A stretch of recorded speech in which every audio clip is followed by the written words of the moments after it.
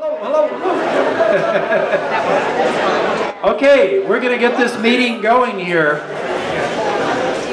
Uh, so uh, it looks like all the seats are taken, but if those of you in the back uh, could let the folks know in the kitchen we're getting started and we hope to keep it quiet so we can run a, a quick, orderly, efficient meeting.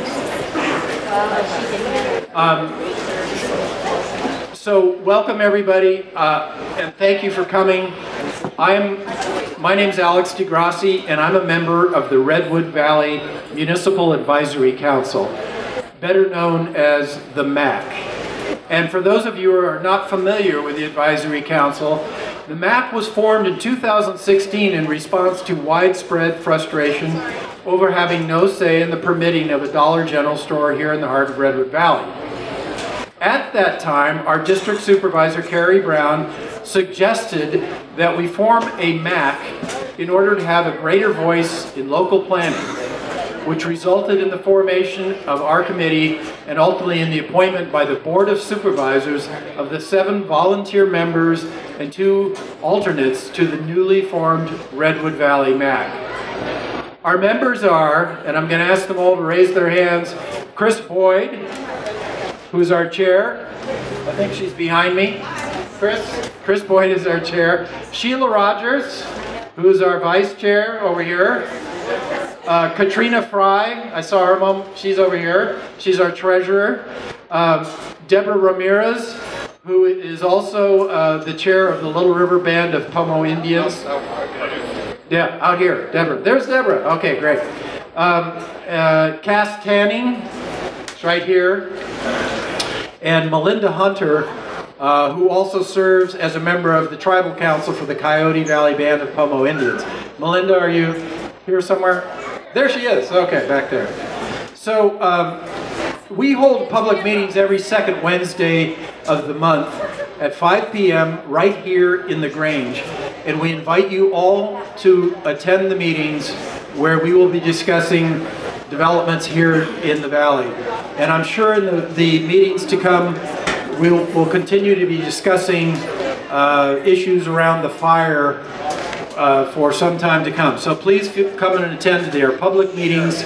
We are Brown acted. Uh, we also post the agendas at the store, the post office, the Grange, as well as online at the redwoodvalleymac.com website where we also post meeting minutes and notices about developments here in the valley. We also occasionally sponsor community meetings such as this one tonight. In fact, tonight's meeting was originally scheduled as the second in a series of three meetings to envision and formulate a Redwood Valley community plan that will be used to update the county general plan in hopes of guiding local planning and giving us a greater voice in our own future. In light of the recent firestorm that has destroyed so many homes and devastated our community, we have shifted tonight's agenda to one of recovery and rebuilding. And to that end, we have invited the recovery team consisting of several county, state, and federal agencies for the purpose of addressing both immediate and long-term needs. Their presentation will be followed by questions and comments from the audience.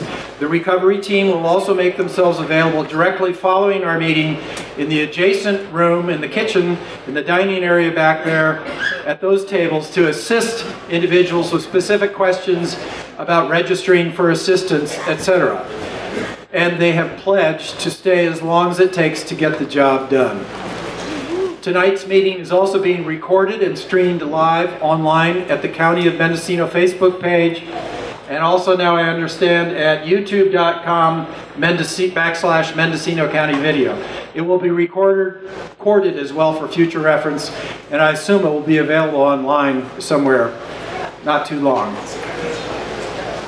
On behalf of the MAC, I would like to acknowledge and thank all the organizations and heroic individuals on the front lines of fighting the fire, including CAL FIRE, the Sheriff's Department, the many out-of-county and out-of-state fires, firefighters, those residents who chose to stay and defend homes, and of course our local area fire departments, including the Redwood Valley Fire Department. two of whose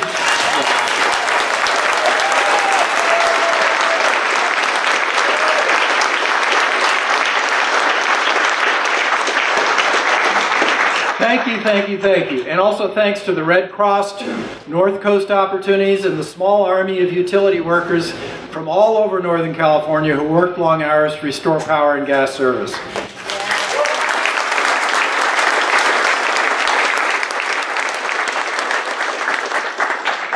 I would also like to acknowledge and thank the Coyote Valley Band of Pomo Indians and the Coyote Valley Casino for their immediate and ongoing response in providing shelter, food, and a variety of services to fire evacuees from the morning of October 9th up until just a few days ago. Thank you, thank you.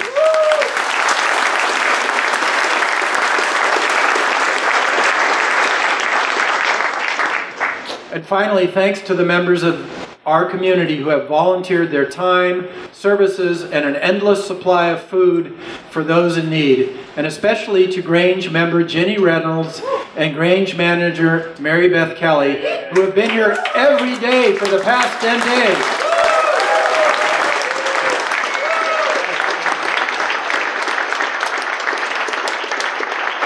They've been here every day for the past 10 days, from early morning till late at night, coordinating a tremendous community effort to provide hot meals, crisis counseling, a play area for kids, radios, batteries, boots, and gloves, and the list goes on and on and on. Thank you, thank you, thank you, everyone. Thank you.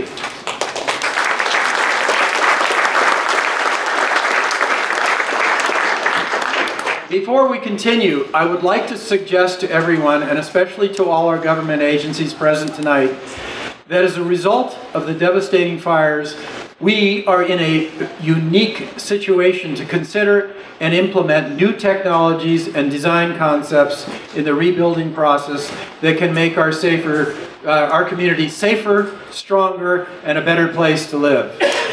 This meeting will likely be the first of many community meetings about recovery, with tonight's emphasis on the urgent needs at hand, but I sincerely hope as this process unfolds, we will have a serious discussion about working with our utility providers, our builders and contractors, and with the county to consider implementing fire-safe technologies such as relocating utility services underground, the use of fire-safe materials in reconstruction, and design concepts such as orienting buildings to maximize passive solar and heating and cooling, as well as the use of solar panels, panels to produce electricity and hot water.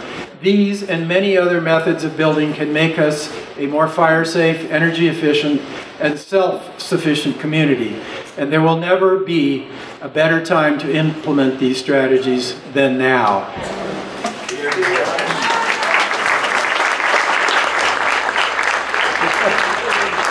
Thank you. So finally, this is a very emotional time for a lot of people. Our heart goes out to all of those who've lost homes, animals, etc. And there will be some difficult questions raised about what happened. And we hope over time that can be explained and answered. But I would ask that we all, uh, all the members, I would ask that we allow members of the recovery team to make their brief presentations without interruptions as the remainder of the meeting will be entirely devoted to questions and comments from the audience. And now I would like to introduce our community plan facilitator, who has also generously offered to be tonight's moderator. Please welcome Cliff Paulin.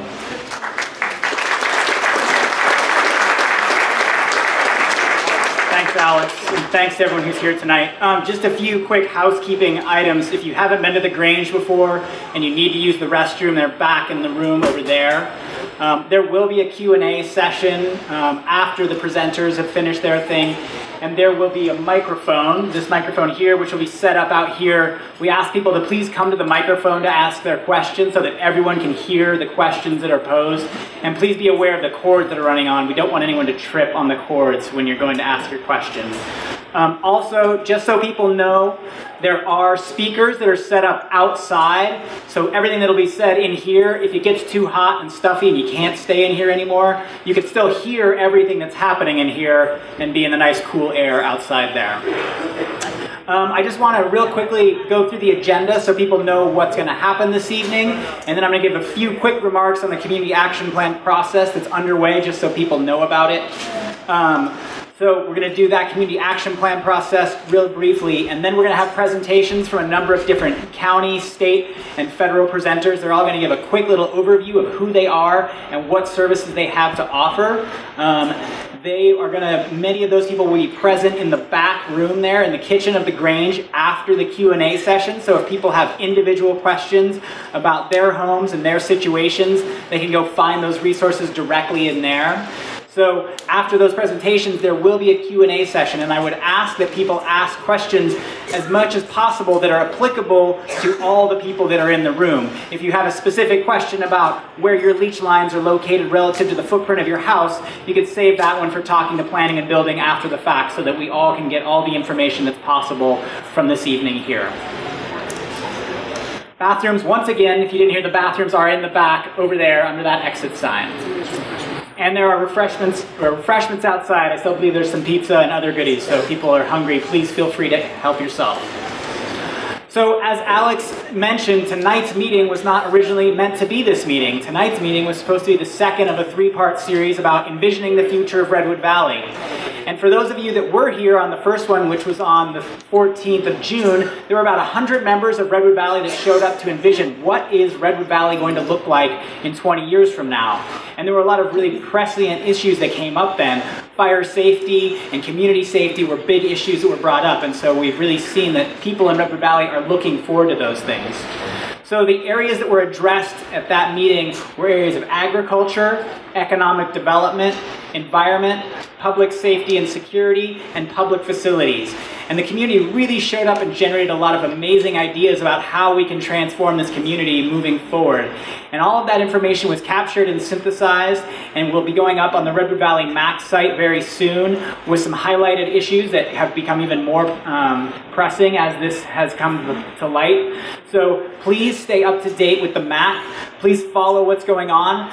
The second of these three meetings will be rescheduled and we would really invite people to show up and be at those meetings. Because a lot of really important things about design guidelines, what do we want Redwood Valley to look like, what kind of zoning decisions do we want to have so we can shape future development will all be discussed in addition to a number of really amazing ideas that were generated by the community that the MAC is going to be looking at spearheading.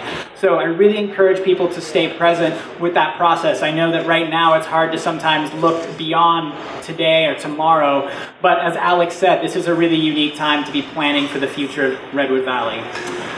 Um, I would like to introduce our panel of speakers. They're going to come up one by one um, in the order that I introduce them.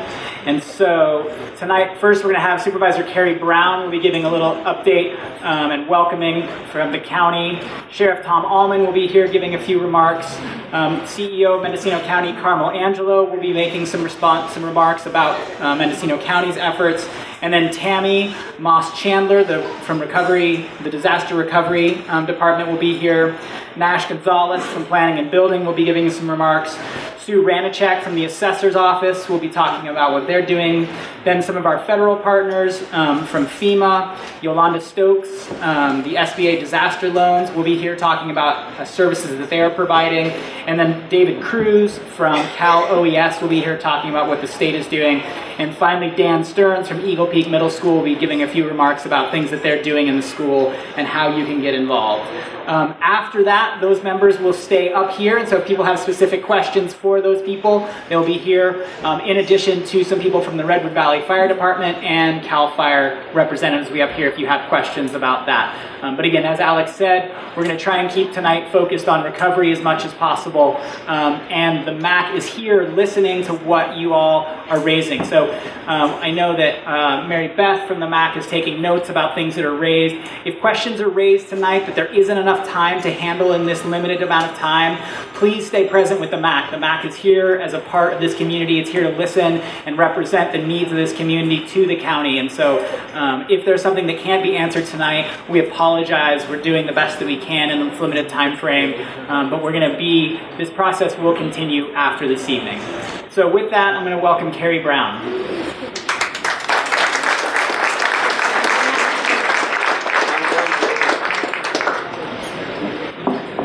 I'm not very tall.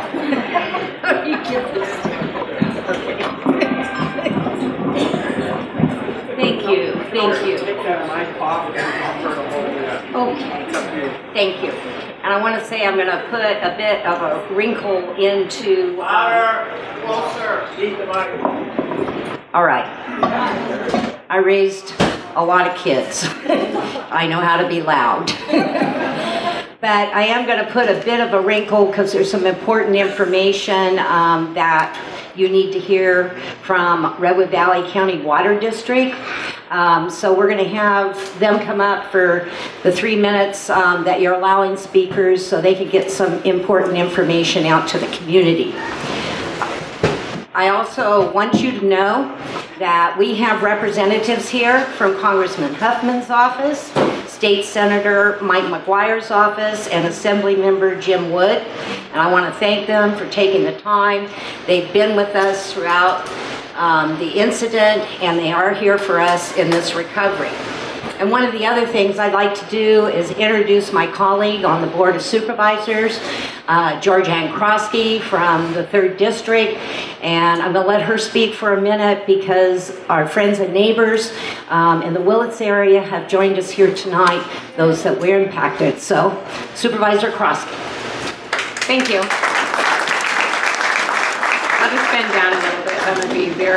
Um, so I just wanted to say I'm Georgeanne Croskey, 3rd District. I do really appreciate those of you from the Willits area who have either come to this meeting or who are watching online. And just make sure that you guys know that I'm here for you. And anything that you can't seem to get answered through our local assistance center or here tonight, feel free to email me or call me. But I'm here to serve you, so I am available anything you need. And you know I'm here with all of you in the first district.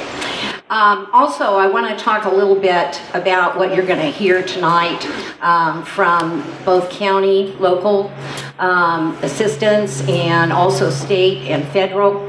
Uh, these people have been working really, really hard. We have county staff that have volunteered time and also worked their regular work hours 24-7 since this all began. And I do want to do a shout out to them. I'm very proud of them as a county supervisor and I know the whole board has appreciated all their dedication and work for all of you. Um, uh, yeah, let's give them a hand. So first of all, Mr. Bill Kohler, please come up. And Bill is the general manager for the Redwood um, County Water District, Redwood Valley County Water District, and I know they have some important information. Um, was on the phone with the chair of the board on Sunday, and yes, they want to share with you. Wow, that's uh, more Redwood Valley people in one place I live. So I have to thank a couple of people. One, the Redwood Calpella.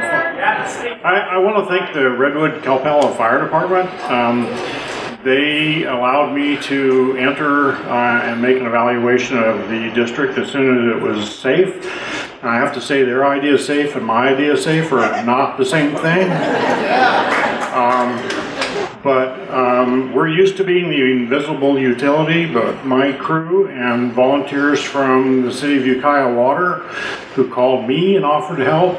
Uh, we spent two days chasing fire engines and turning off burning houses as their services because we were running out of water. So I'd like to thank my crew and the city of Ukiah.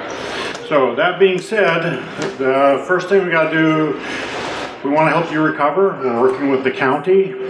Um, we're bending as many rules as we possibly can, especially about the issue of getting you folks uh, who may need to stay in RVs or some other type of temporary housing on your property. We'll do whatever we can to make that happen. So. What about community uptime time? What? Community uptime. Um, well, all of you know that the Tomki, Fisher Lake, Jenkins Road was devastated.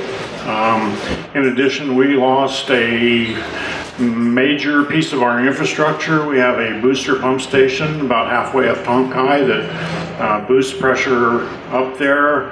Um, I just got a rough guesstimate, and we're looking at about $270,000 to replace that piece of equipment. But we're gonna, we've already restored low pressure to the three houses at Jenkins and Tomki that amazingly survived.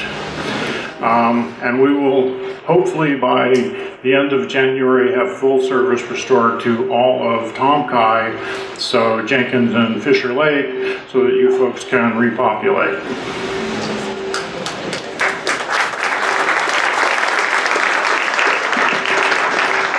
When Bill talked about the county bending rules, uh, it gave me a heads up that I need to tell all of you that the County Board of Supervisors, we're having special meetings, um, and we're also looking at urgency ordinances, um, and numerous ones. So you, the meeting today and then the uh, previous one, you can go back and click on the live streaming and be able to hear the discussion. We will be back in session again on October 31st and probably more Tuesdays, add a lot of meetings to, to our schedule as we go forward. But we're trying to make it good for everyone and make it as easy as possible um, for all of us to return, rebuild, and be in our community. So thank you. And Cliff, are you going to introduce the sheriff? Hey. one of um, our very special people in the county organization, Sheriff Tom Allman.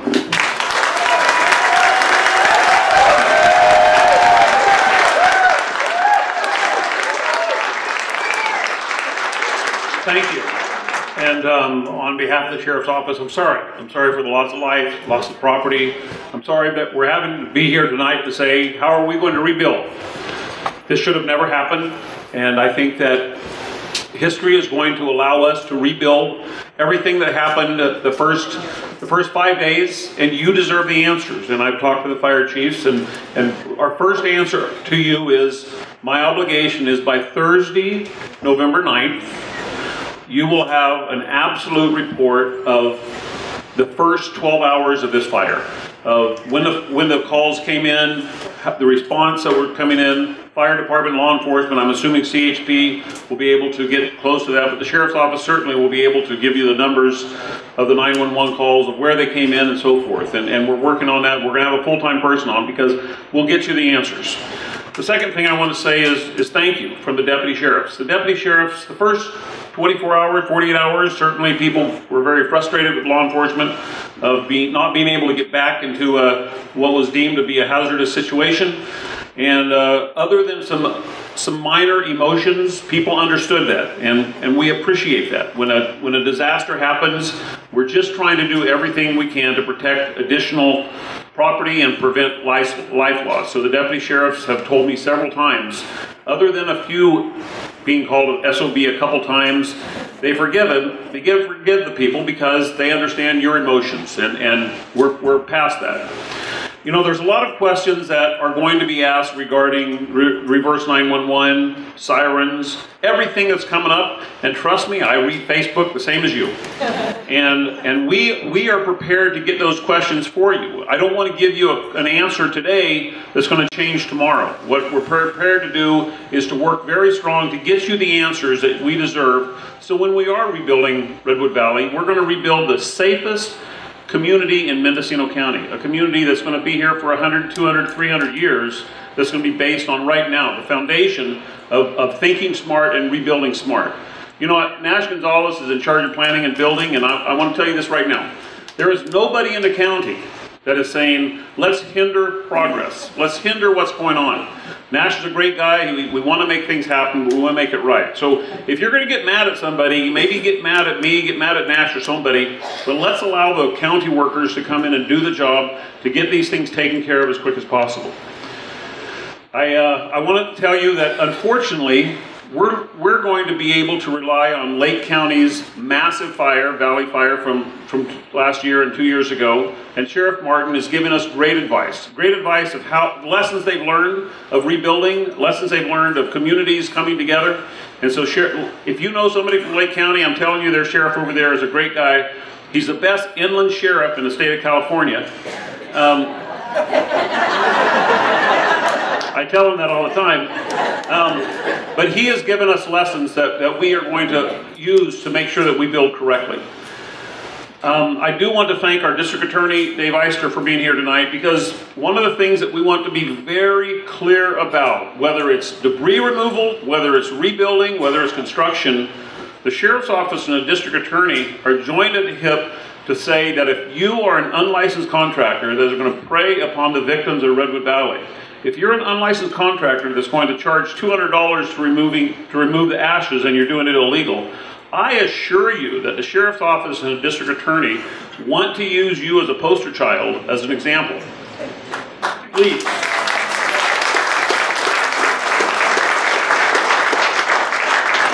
So with that, you're going to see increased sheriff's office and CHP patrol.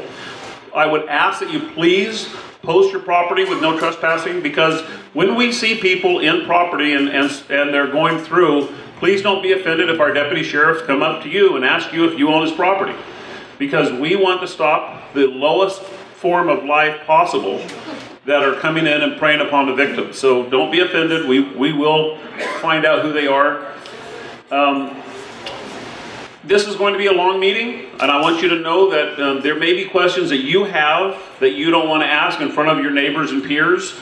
I will be here until the last person goes home, and I will be outside. And if you have a question that you want to ask, but you don't want to do it on the microphone because you're bashful, I totally understand. So I'll meet you and I'll talk to you and I'll do everything I can to get to the answers. So with that, I think I've covered everything I'm supposed to cover. I, I the district attorney's not on the um, agenda, but I, I will say that he's here and he's he, the purpose of being here is to make sure you understand that the criminal justice arena is going to be involved in, in every part of any criminal act that happens in this, whether it's stealing, whether it's uh, insurance fraud, whatever. Honestly, we want to rebuild right and we want to build, rebuild correct. So, Adam Supervisor.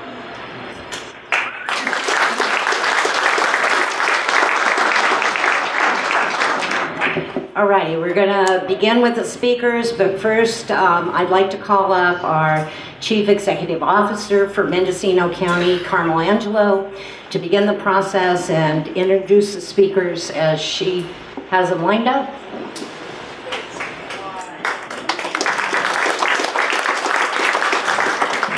Good evening. The week of the fires, uh, in seven days, we did 13 press conferences. And of course, we probably could have done 26. But 13 was good. We got a lot of response, and we hope we got information out. But one of the things that, that I said at every press conference was that the Mendocino County offices are open and all services are available throughout the fire, and that our 24 7 services are available. And I assure you, during this recovery phase, that I can say the same thing. All Mendocino County offices are open, will be open. Our 24 7 services are available. And if you need something and you think you're not getting it, you could call the executive office, and that's 463 4441. Or your county supervisor. We'll give you Carrie Brown's cell phone number. There's probably only one person in this room that doesn't have it. Okay, so um, we are in the recovery phase. What you're going to hear a lot about tonight will be cleanup, debris cleanup, which is our number one priority as we move forward.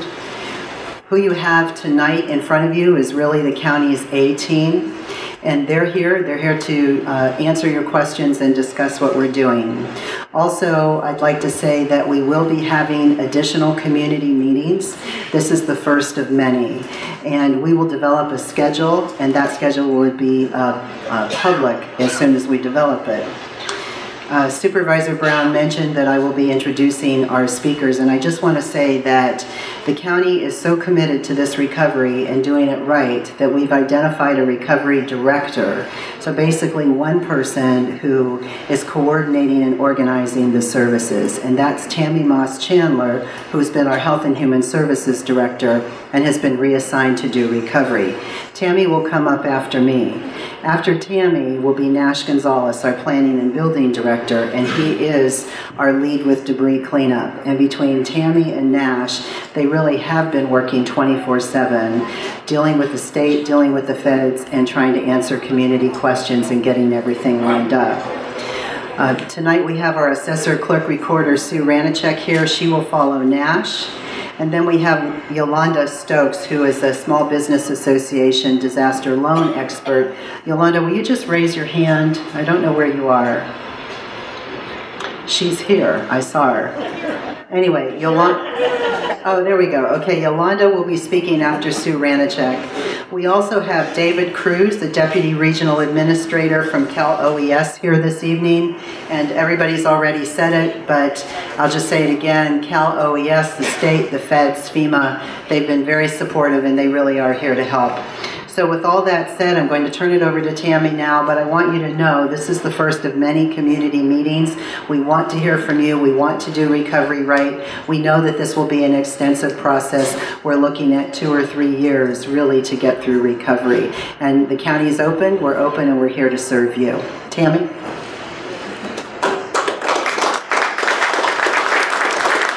Thank you, Carmel.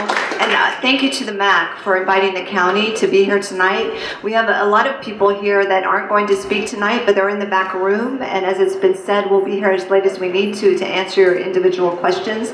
We have Trey Strickland, our environmental health director.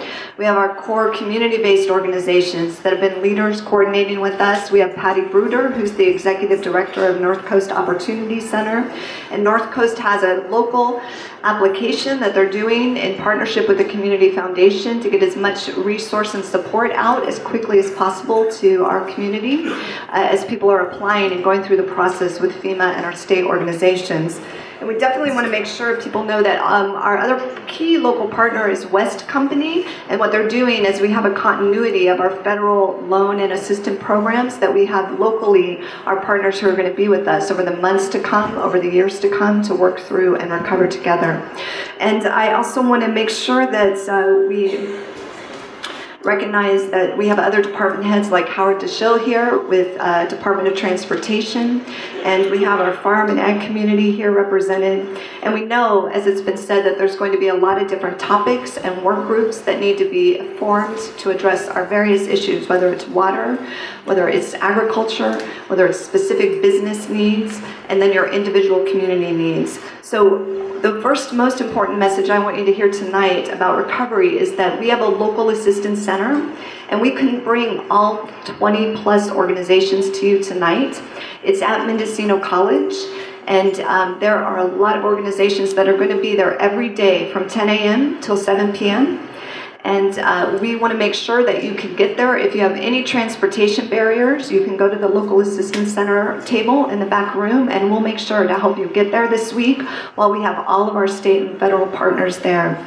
We have FEMA assistance here tonight because one of the first big important steps you'll hear about tonight, and Alan Ball is our local FEMA representative here, who's our liaison. He has a whole team of people to make sure people can apply and get their questions answered of how to get into the federal process for FEMA assistance. And uh, we have a whole team of people to answer any specific questions you have tonight. We also are working with our local hotels to make sure that everyone who needs a place to stay over the next few days or few weeks or few months has a hotel if, you if you're covered through that FEMA assistance program. And there's certainly a number of other benefits you'll hear just a little bit tonight about, but there's many more at the local assistance center. And then most importantly, we want to make sure you have the current information about debris cleanup and what we want to do to help protect your health, your family's health, your property, our public areas, our waterways as quickly as possible. And I'm going to turn over to Nash Gonzalez actually to share a little bit about uh, the overview of that cleanup. Thank you, Nash. Good evening, everybody, and I'm really sorry for all your losses, but uh, let's talk about cleanup, debris, and so on. So, what we're looking at overall is the Department of Toxic Substances uh, is in the area right now doing overviews, assessments, and removing household hazardous waste. Once these sites have been cleared by the Department of Toxic Substances, then the Army Corps of Engineers will be tasked with coming in and doing the debris removal. So all of this process is going to take several weeks. We understand from uh, DTSC that it will be um, three to four weeks before they're completed. Uh, what was said to me earlier this evening is they have completed the sweep of 22 homes already. They have begun at the north end of the valley at uh, Fisher Lake, and they're going to be moving southward. Another team will be moving from the southern end of the valley up towards the middle, and then later they will be moving towards the north end and looking at the um, Cave Creek uh, area. With that said, they will also be looking at the Willits area, there will be, uh, and then Potter Valley, or sending teams in both directions. The whole idea is to get our area cleaned up as soon as possible so that the Corps of Engineers can come in and start doing the debris removal so that we can get the homes, the buildings rebuilt as soon as possible. And as the sheriff mentioned, we're not here to create impediments. We're here to create opportunities so that we can get the residences back onto their properties. One of the things that we did last week or week and a half ago, while the fires were still going on, my staff and I met to try to look at opportunities to get people back onto their properties. And one of the things that we're taking to the board is an urgency ordinance that would basically allow the opportunity for recreational vehicles, um, trailers, mobile homes to be put on property temporarily while you rebuild. And again, relaxing a lot of the standards. So we're looking at trying to create those opportunities to get people back onto their own properties because I know that most people don't want to live in hotels, they don't want to live on somebody else's property, but we're looking at opportunities to get you back onto your property. So uh, I know that there's a representative from DTSC here this evening. Adam, I don't know if you're back here um, but I was just going to have him come up and, and talk a little bit about what they're doing. Um, oh, Adam. Uh, good evening. My name is Adam Palmer. I'm the supervisor of uh, the Department of Toxic Substances Control's Emergency Response Unit. Uh, we've been mission tasked by the Office of Emergency Services to come to Mendocino County and assess and remove all the household hazardous waste from the homes destroyed in the recent fires. Uh, unfortunately, we have a lot of experience. We've been very active the last couple years in some of the fires in Northern and Southern California. So our first phase is when we come onto your property, we have a radiological meter. We will look for rad sources.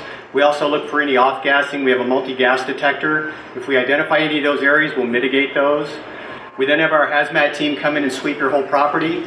I know in a lot of cases there's multiple structures on the property, so we try to get to each one. We remove um, propane canisters, you know, the five gallon variety that you have with your barbecue. Uh, we do not touch the big ones. Uh, that's between the gas company and the homeowner. Uh, but we will, we will take uh, large cylinders, acetylene variety. Uh, we will mitigate those. We typically take the valves off them and we'll mark them with the white X. So when you come back to your property, if you see that laying there, that's basically scrap metal at that point. We also look for, you know, the kind of things you're going to have in your garage. Pesticides, herbicides, uh, waste oil, fuels. Today we removed a couple 55 gallon drums of waste oil. That's typical. Um, what other kind of items? Um, anything that falls into the criteria of household hazardous waste. So solvents, waste oils. Uh, you'll see our crews out there. Um, all we ask is while we're working, you don't enter the footprint of the, the fire. But if you do have questions, we do have crew leaders on site. Feel free to come up and ask. Um, if you have any questions specifically as to what we're doing, we're going to do the best we can to be out of here in four weeks. Um, I'm going to be bringing in more crews um, as we finish up in Lake County, Yuba County, and some of the other counties that we've been mission tasked to go to. So um, the plan is to finish in four weeks. I'd like to compress that to three. We'll see how it goes. I'm sorry for your loss, uh, and uh, like I said, whatever we can do, I'm gonna stay here as, like the sheriff said, I'll stay as late as you want. If you have any specific questions, I'll be at the back of the room. Thank you.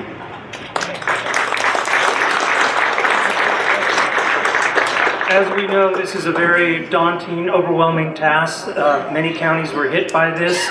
So because of the large scale of devastation, it's not something that state agencies can come in without the help of the federal partners, FEMA and uh, the Army Corps of Engineers. And so for that reason, and um, I'll probably I'll turn to Cal OES who can answer a lot of those questions, but the magnitude is so large that they had to ask the federal government to come in and help. Otherwise, you know, we would be doing this for months and months. And the idea is to get in, get the areas cleaned up as quickly as possible. We know that winter is coming very soon. We know the rainy seasons are coming.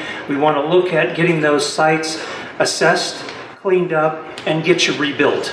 And so I'm going to ask Mr. Cruz to come up here and, and uh, add a few um, comments. Okay.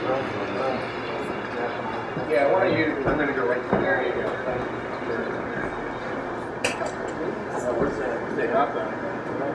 All right. All right, so I'm going to ask my FEMA partner to come up here, and we're going to do this as one piece. Uh, so we got our Army Corps here as well. Uh, so Good evening. My name is David Cruz. I'm the Deputy Regional Administrator for the Governor's Office of Emergency Services. Um,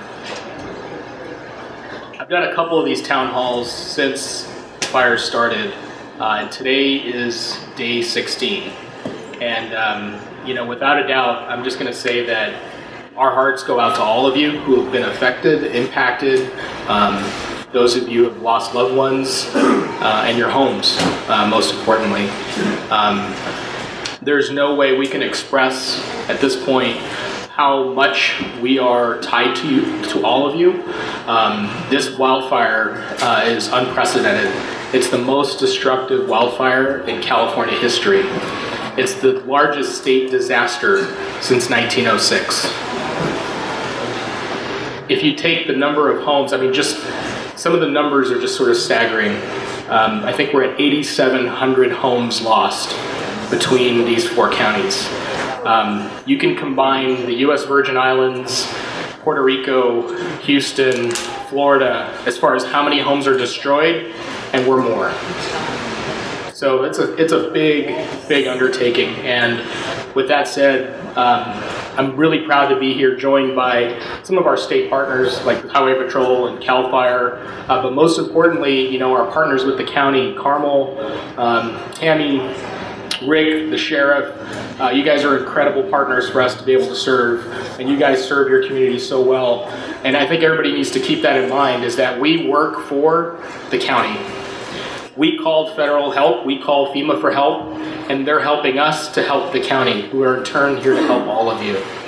Um, this, this cleanup task that's in front of us is monumental. Um, that's why we've asked for FEMA. Sorry, I'm going to adjust this. The feedback is horrible. Um, that's why we've asked FEMA for the help for this debris cleanup. Uh, and that's how they've tasked now the Army Corps of Engineers to come in and help us do this, uh, along with DTSC, and that's a state agency that's been tasked. Um, I know you guys have a lot of questions about the right of entry, about insurance, um, and we're here to answer all those. Uh, and we're here for you for that. And, and, the county is as well. We're providing a good coordinated effort with their county uh, PIO staff, our PIO staff, to make sure you guys have the most up-to-date information um, to be able to make the decisions uh, that you need to make. Um, I guess if I could address one thing uh, with all of you while I have your attention, it's this right of entry form and what it really means. And that is essentially is to take advantage of this debris cleanup effort that the state and the federal government is going to pay for. Uh, this is a free program being made available to you because of the scope of this devastation. Um, we definitely encourage everybody to take advantage of it. Uh, it doesn't cost you anything. Uh, if you're insured, um, you will, if there's a specific carve out inside of your policy for debris removal, that is something that the county will recoup later from you, from your insurance company directly. If there isn't a specific carve out in your insurance policy, then you make yourselves whole. You guys build your homes. If there's anything left over at the end, that's when the county would try to recoup some of the cost of the debris removal. And that's just being good stewards of public dollars. That's what it comes down to. Um, again, I know that doesn't address everything. It's a small part. Um, so yeah, just know that we we really feel for you. We're, we're, we're in this with you. Many of our, our team who have been on the ground since day one have been personally affected by the fires. Um, it's tough, guys. I mean, I'm just going to be really honest. This is a really tough situation. Um, there's nothing easy about it. Your sense of community, when I walked in here and I saw all the smiling faces and the, the just that cheerfulness of, of, being together was like the highlight of my past 16 days. So um, thank you for that. Um, if there's anything we can do, we're here for you. Thank you.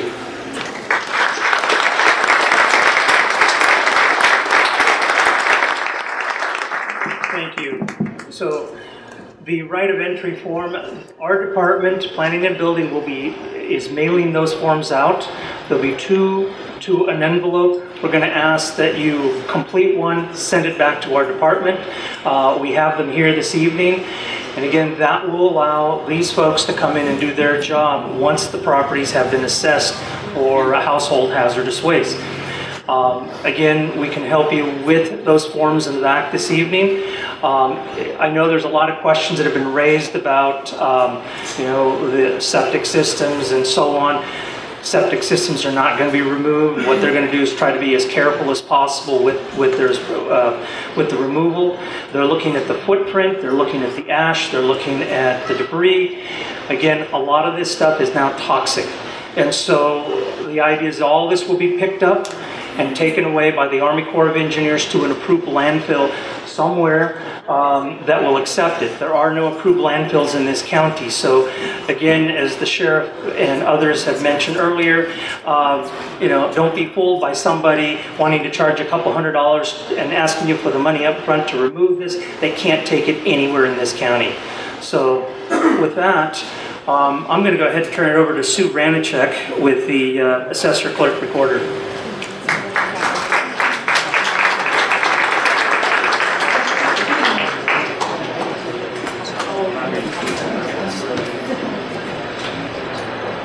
Good evening. I'm Sue Ranochak. I'm the Assessor Clerk Recorder. First of all, let me say, uh, myself and my staff, uh, you have all of our sympathy over the losses of your homes, and um, we'll do our best to adjust those tax bills as quickly as possible. So let me talk a little bit about that process. We're asking you to fill out damage reports for us, and we have collected 139. Um, at this point, the importance of that damage report is it also includes a waiver of the first installment of your property tax bills. So if you do complete those forms for us, you will get a grace period to pay that first installment, which is due December 10th. And now I'll give you some bad news. Those are going to be started, they were started to be mailed this afternoon. So you should have them in your post office boxes probably on Friday. But um, that doesn't mean we won't be proactive. If you don't file a damage return, we're also looking at Google Earth. They already have uh, pictures of the fire up. We will be putting a parcel layer over that so we can identify every property that's been destroyed or every uh, outbuilding that has been destroyed.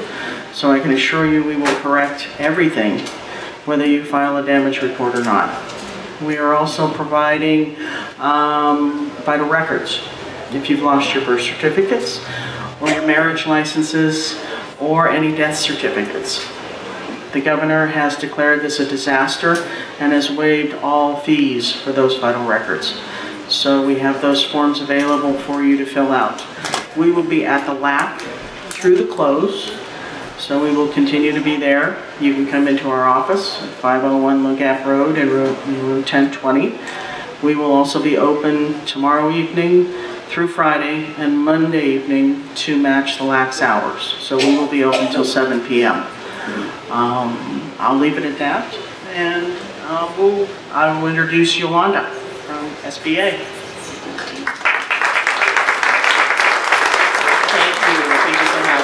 Good evening, everyone. My name is Yolanda Stokes. I'm a public information officer with SBA's Office of Disaster Assistance, or the Small Business Administration.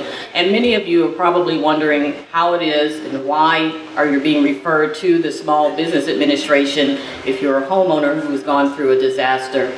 Uh, in disasters, the SBA uh, not only provides loans to businesses of all sizes, private nonprofits, but we provide low-interest disaster loans to homeowners and renters. And I know that this room is filled with folks who have lost their homes and had significant damage to their homes. So we don't want, and we didn't want to miss out on this opportunity to share with you how the program can help you to move forward. Now, the first step in accessing any of the federal programs is to first register with FEMA. And if I could, just by show of hands, see how many folks have already registered with FEMA. I'm hoping that I see lots and lots of hands. Okay very good, but I think there are still some folks who probably still need to register with FEMA, and we do have the um, disaster assistance folks here in the back that can help you register tonight. Again, the first step to accessing any of the programs is to first register with FEMA, and then if you are referred to the Small Business Administration, we want you to complete that loan application. A homeowner is eligible for up to $200,000 to replace or repair your primary residence. It does have to be a primary residence and not a secondary home. And then an additional $40,000 for your content. So my homeowners have potential eligibility for up to $240,000, low interest rate of 1.75%, we try to stretch that term out to 30 years. We want to kind of mirror a, a, mortgage so that we can make that, that term long for you and make that payment a lot more affordable for you. In addition to those two tools that we use to make the loan payments affordable, for this particular disaster, we have approved a one-year deferment, so no loan payment for the first year so that you can concentrate on your recovery. So you see we have several tools that we can use to make this loan affordable for you. The low interest rate of 1.75 for my homeowners, for private nonprofits, it's 2.5%, and for business owners, it's 3.3%. So we have the low interest rate, the extended term, and we also have the deferred payment for one year for private nonprofits and businesses of all sizes, you can access loans up to 200, uh, $2 million, and that's twofold in that you can get a recovery for your damaged property as a business owner, and also there may be businesses who have been impacted financially, economically, so you need working capital. So when I speak of, of my business owners, I want to make sure that there may be folks who have rental properties um, so you would qualify under the business loan application. Please, please, please complete that disaster loan application, whether or not you feel like you want a loan or even need a loan, because as you begin your recovery process, you may find that you have additional needs beyond what your insurance can provide, if you do indeed have insurance. The SBA loan program is here for those who are insured, don't have enough insurance, or those who don't have insurance at all. So we want to cover everyone. We have a program basically for everyone. Again, homeowners, renters, private nonprofits such as schools and churches, homeowners associations, businesses, including my folks that have rental properties. Again, please take advantage of the SBA representatives that are there on site at the local assistance center. We are there to provide face-to-face -face assistance for you. If you're not able to make it down to the local assistance center, certainly you can go ahead and apply online at sba.gov. There's a banner page specifically for this disaster, and you can go ahead and apply online. And just as a note, I, I was able to pull some stats today for this particular county, and we have issued more than 700 loan applications. The majority of them are for homeowners, but we've only received 35 loan applications back. So that means that there may be some folks that were actually confused about whether or not they should apply because they didn't realize that we have a program for homeowners and renters. But we need to see those loans uh, turn around. So we want to see those, you know, those applications that were issued actually turn into full-blown applications. Again, there's no obligation to accept the loan. If you are approved for the loan, your insurance does indeed come through, or you find the means to make full recovery, you can simply ask the loan to be canceled. On the opposite side of that, if you find that your, uh, your insurance is taking a long time, you don't have to wait for your insurance to settle go ahead and apply for the loan. If your insurance does come through and it's enough for your full recovery, simply cancel the loan, or if you need additional funds, you can ask for an increase. A lot of flexibility built into the loan program. And then there's also some folks out there who have an existing for, uh, first mortgage. SBA also has a program that can help potentially uh, refinance your existing debt. So I'll be available to answer questions one-on-one for you, but I just want to encourage everyone, please complete that loan application and just keep it out there as an option in your recovery. No uh, obligation to take the loan if you don't need it. Thank you so much for your time.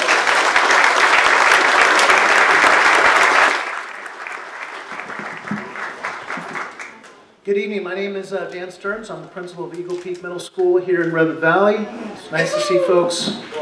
Nice to see folks here. I'm here to talk about our children, our beautiful, awesome children who have suffered tremendously, many of which have bounced back, and many of which are really suffering, I must say. So the main thing that we would like to offer as part of the school district in Eagle Peak Middle School is a ton of counseling services and support for our students.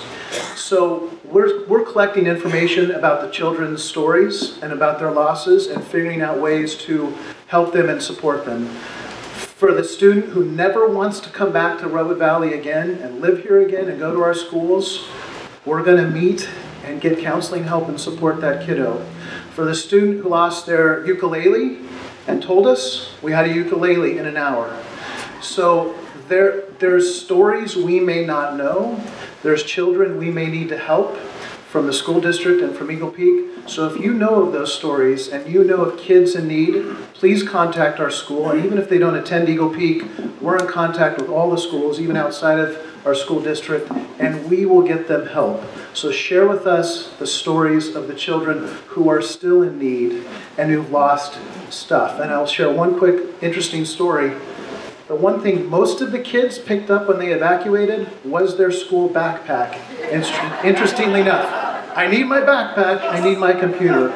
So our kids are awesome, and there's still years of challenge ahead for them. Contact the school and share us the stories of the kids and let us know how we can help. Um, just come by Eagle Peak or call. Thank you.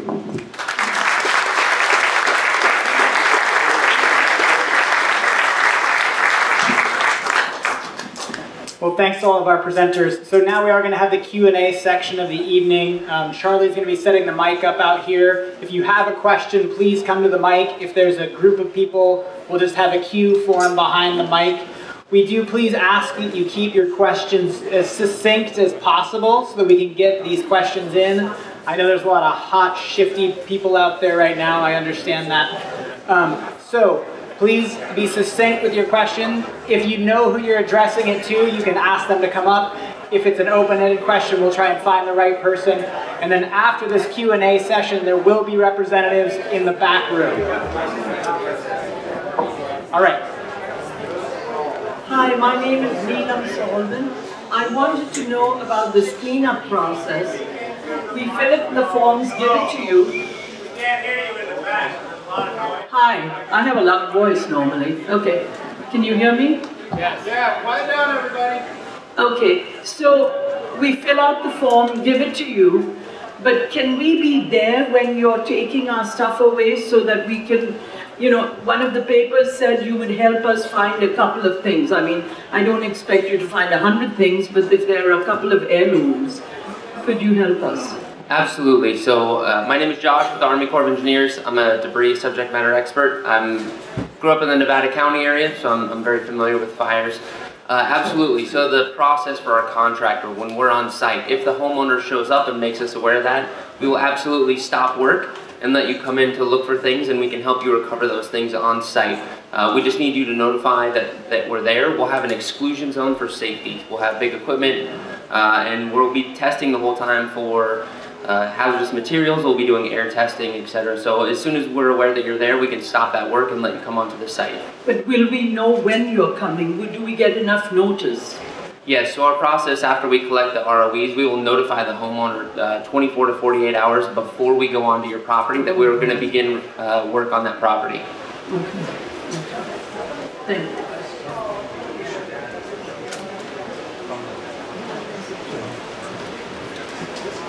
So a good point was brought up. Uh, this is vital for us is that we get a quality contact number for you. If we cannot get a hold of you, that will slow down our work and process. So when you sign the ROE forms out, please make sure that we have a, a good contact number on that form. I know that's listed, I believe, in several places, but that's a vital piece of information for us to get the work going. That contact number is going to be very imperative. So if you've got a primary number, an alternate number, and an email address, that is really going to go a long way. Thank you. Nash, you, Nash, you can stay there. Hi, I'm Rodney Escher from Bonnie Cameron Manufactured Homes. We're the local dealer, does most of the housing. Our question is, up until a few years ago, manufactured homes were on the expedited item that could be done with permits on the expedited counter. Can we do that again? Go with expedited permits that we've done for years and move them along quickly so people can recover?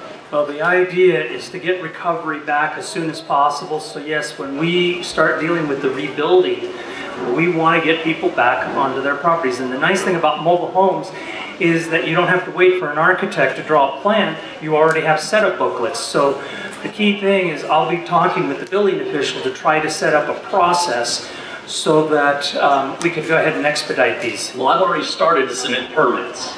And I've got a few more this week and next week to submit because I'm trying as quick as possible. So I'm just wondering, with environmental health support and yours, if we could you know, move those forward and do those on the counter like we used to for fire victims. Are these for fire victims right now? Yeah. Okay. I did one so, already.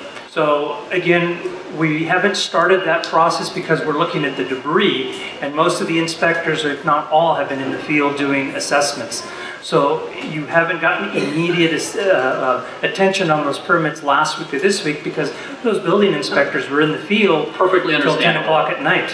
No, so but the idea is to actually get that process going so we can expedite. Excellent. Okay, that's what we wondered about. Thank you. My name is Calvin Payne. Uh, my question is, how is a handoff occurring from Department of Toxic Services to the Army Corps? So uh, we're working in conjunction with them right now. So as they are clearing properties, we're using GIS mapping services, plot maps of the local counties to figure out what homes have been cleared and targeting those first. So as they clear homes, we'll be able to move contractors in. We don't need to wait for every single home in the area to be cleared. We'll be able to move forward as soon as we get enough homes that have ROEs finished, that are cleared from HHW, household hazardous waste, we'll begin to move our contractors into those areas immediately.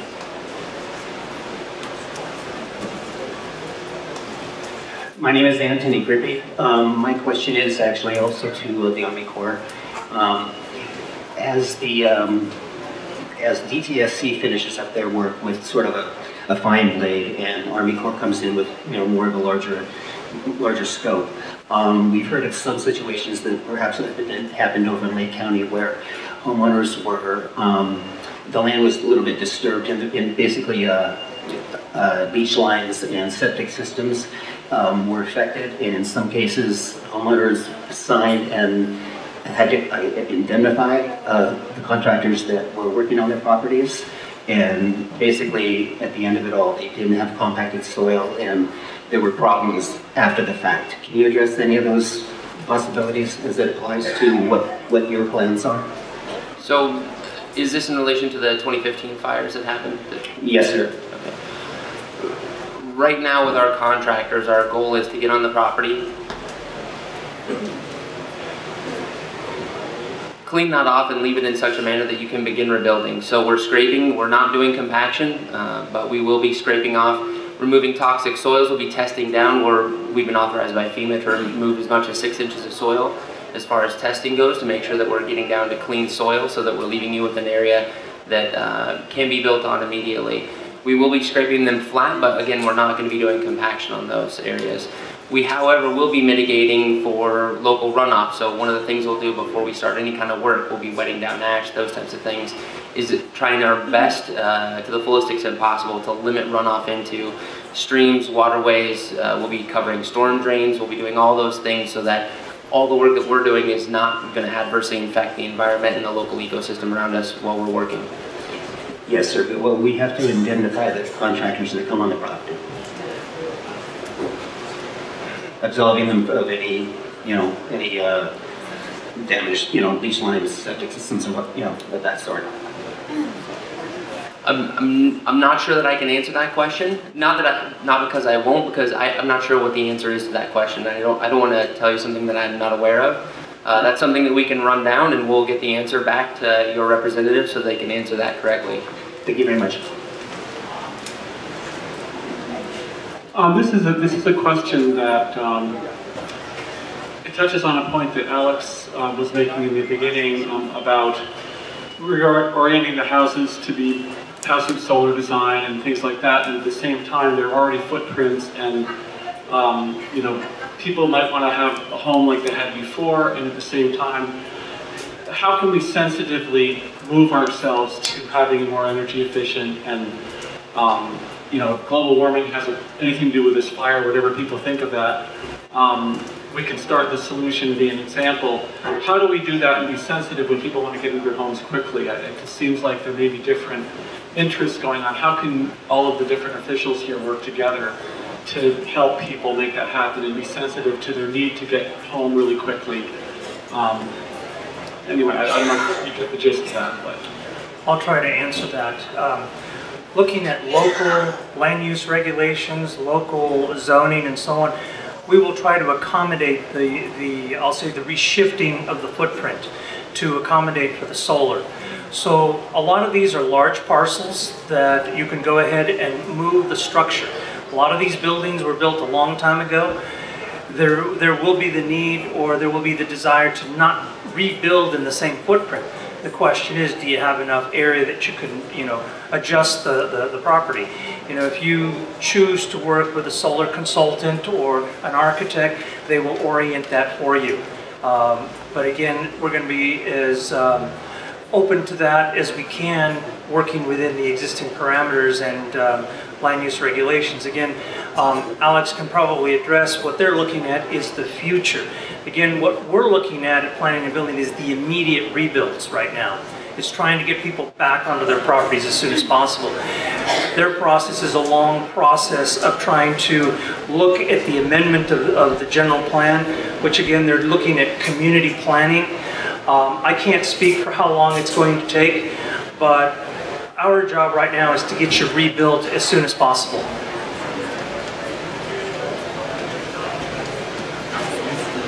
Um, hello, my name is Ziggy Daniels. I'm from West Jordan Tomki. I am, was a renter. Um, my question is directly to the county, the Board of Supervisors, and also to FEMA. What is going to happen to the people who do not have your property to go back to, or even homeowners who were not insured? Is FEMA going to be bringing in trailers or temporary shelter? What is the county doing? We already have a homeless state of emergency in this county. So, and it's going to get worse. So as a renter, I, people who are renters need to know what's going to go on because I'm about to be on the street with my partner who is terminally ill, and we still have not gotten uh, uh, our money to pay for a hotel in Ukiah. Thank you. So if you come to the back, we'll make sure, between Alan Ball and his representatives, we make sure that you have your FEMA assistance and hoteling needs, immediate needs met. But I want to assure you that we are already talking with our state and federal partners about expediting, expediting creative housing opportunities through FEMA. There's already been an order placed through the state with FEMA to try to deploy um, FEMA, FEMA housing options to this county. And we'll be working really closely. It's one of our core groups. We know we're already in a, in a critical state around homelessness and housing needs here. And we, we are committed for the long term as well as the immediate term. Like Nash said, we're committed to working with your community planner on housing. So I just want to follow that up a little bit about the FEMA trailer piece, and it's okay, she's walking away. Um, so an order has already gone in for these emergency trailers, and understand that, you know, nationwide, there's many orders in right now for these, right? For all the other homes that have been destroyed across the U.S.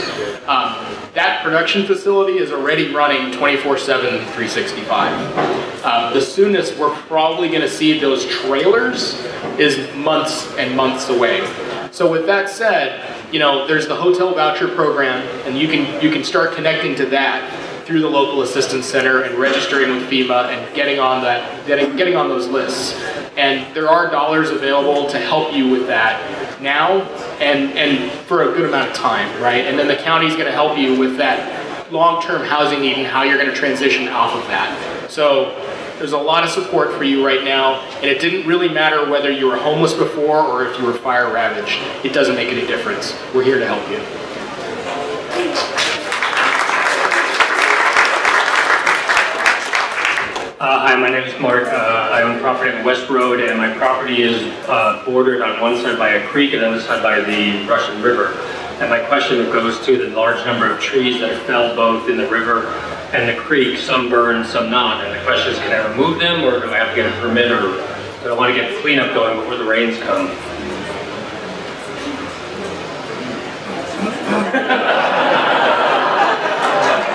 Yeah, you see us all look at each other, right? There you have it. So um, if we could get your specifics, there's actually some folks I'd like to talk with you individually and more about your particular situation, but actually about tree removal, it is complicated depending on where it is, if it's in a public thorough way, a private area, um, and if it's, you know, uh, in PG&E's uh, areas. So we need to get your real specifics, and if you find actually someone in a yellow vest, they'll take down your info so we can be sure to connect tonight or later, okay?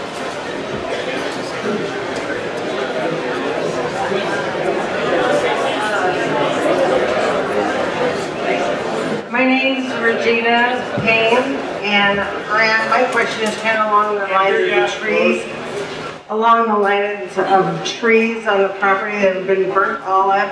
Is someone going to come in, or is a landowner going to have to, you know, get a tree service in?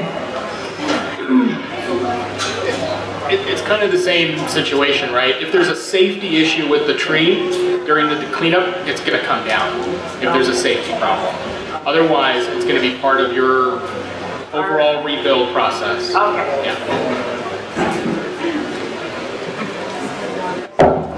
Thank you, my name is Richard Perron. I want to know when you come in and clean out, uh, is, is it the hazardous waste and all the dust going to be removed first before the crews come in and clean up? And also, can I have a crew there, because there's stuff in the way that I have to get out before the cleanup is uh, started?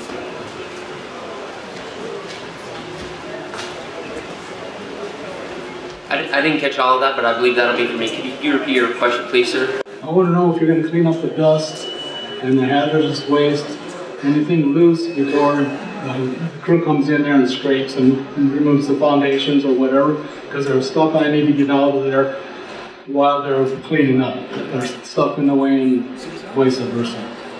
So our, our initial process is that when we come in, we'll be wetting down and removing all the ash and the dust that's accumulated on top of everything before we remove uh, standing chimneys, other damaged uh, structures, debris removal.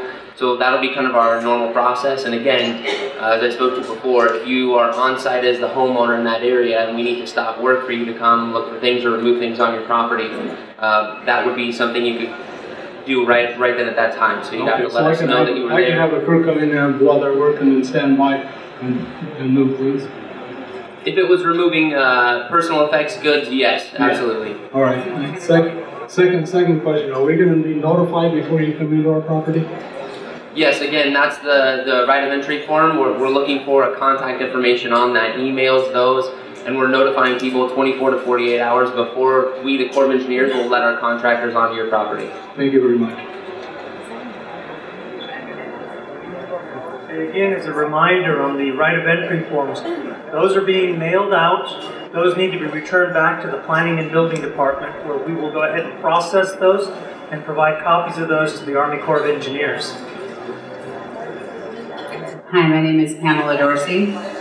I'm wondering who carries the workman's comp and liability if someone's to be hurt on my property during the- any of the processes that you have in place. So our contractors have full workers' comp liability for all of their workers and everything that's done. So they're fully liable for all the injuries to their workers.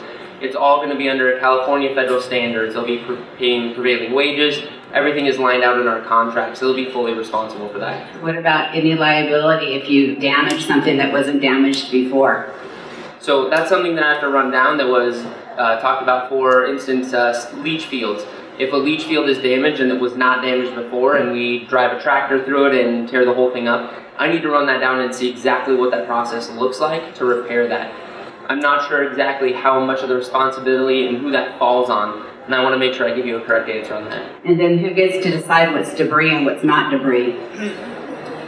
FEMA decides what's eligible debris and what's not eligible debris.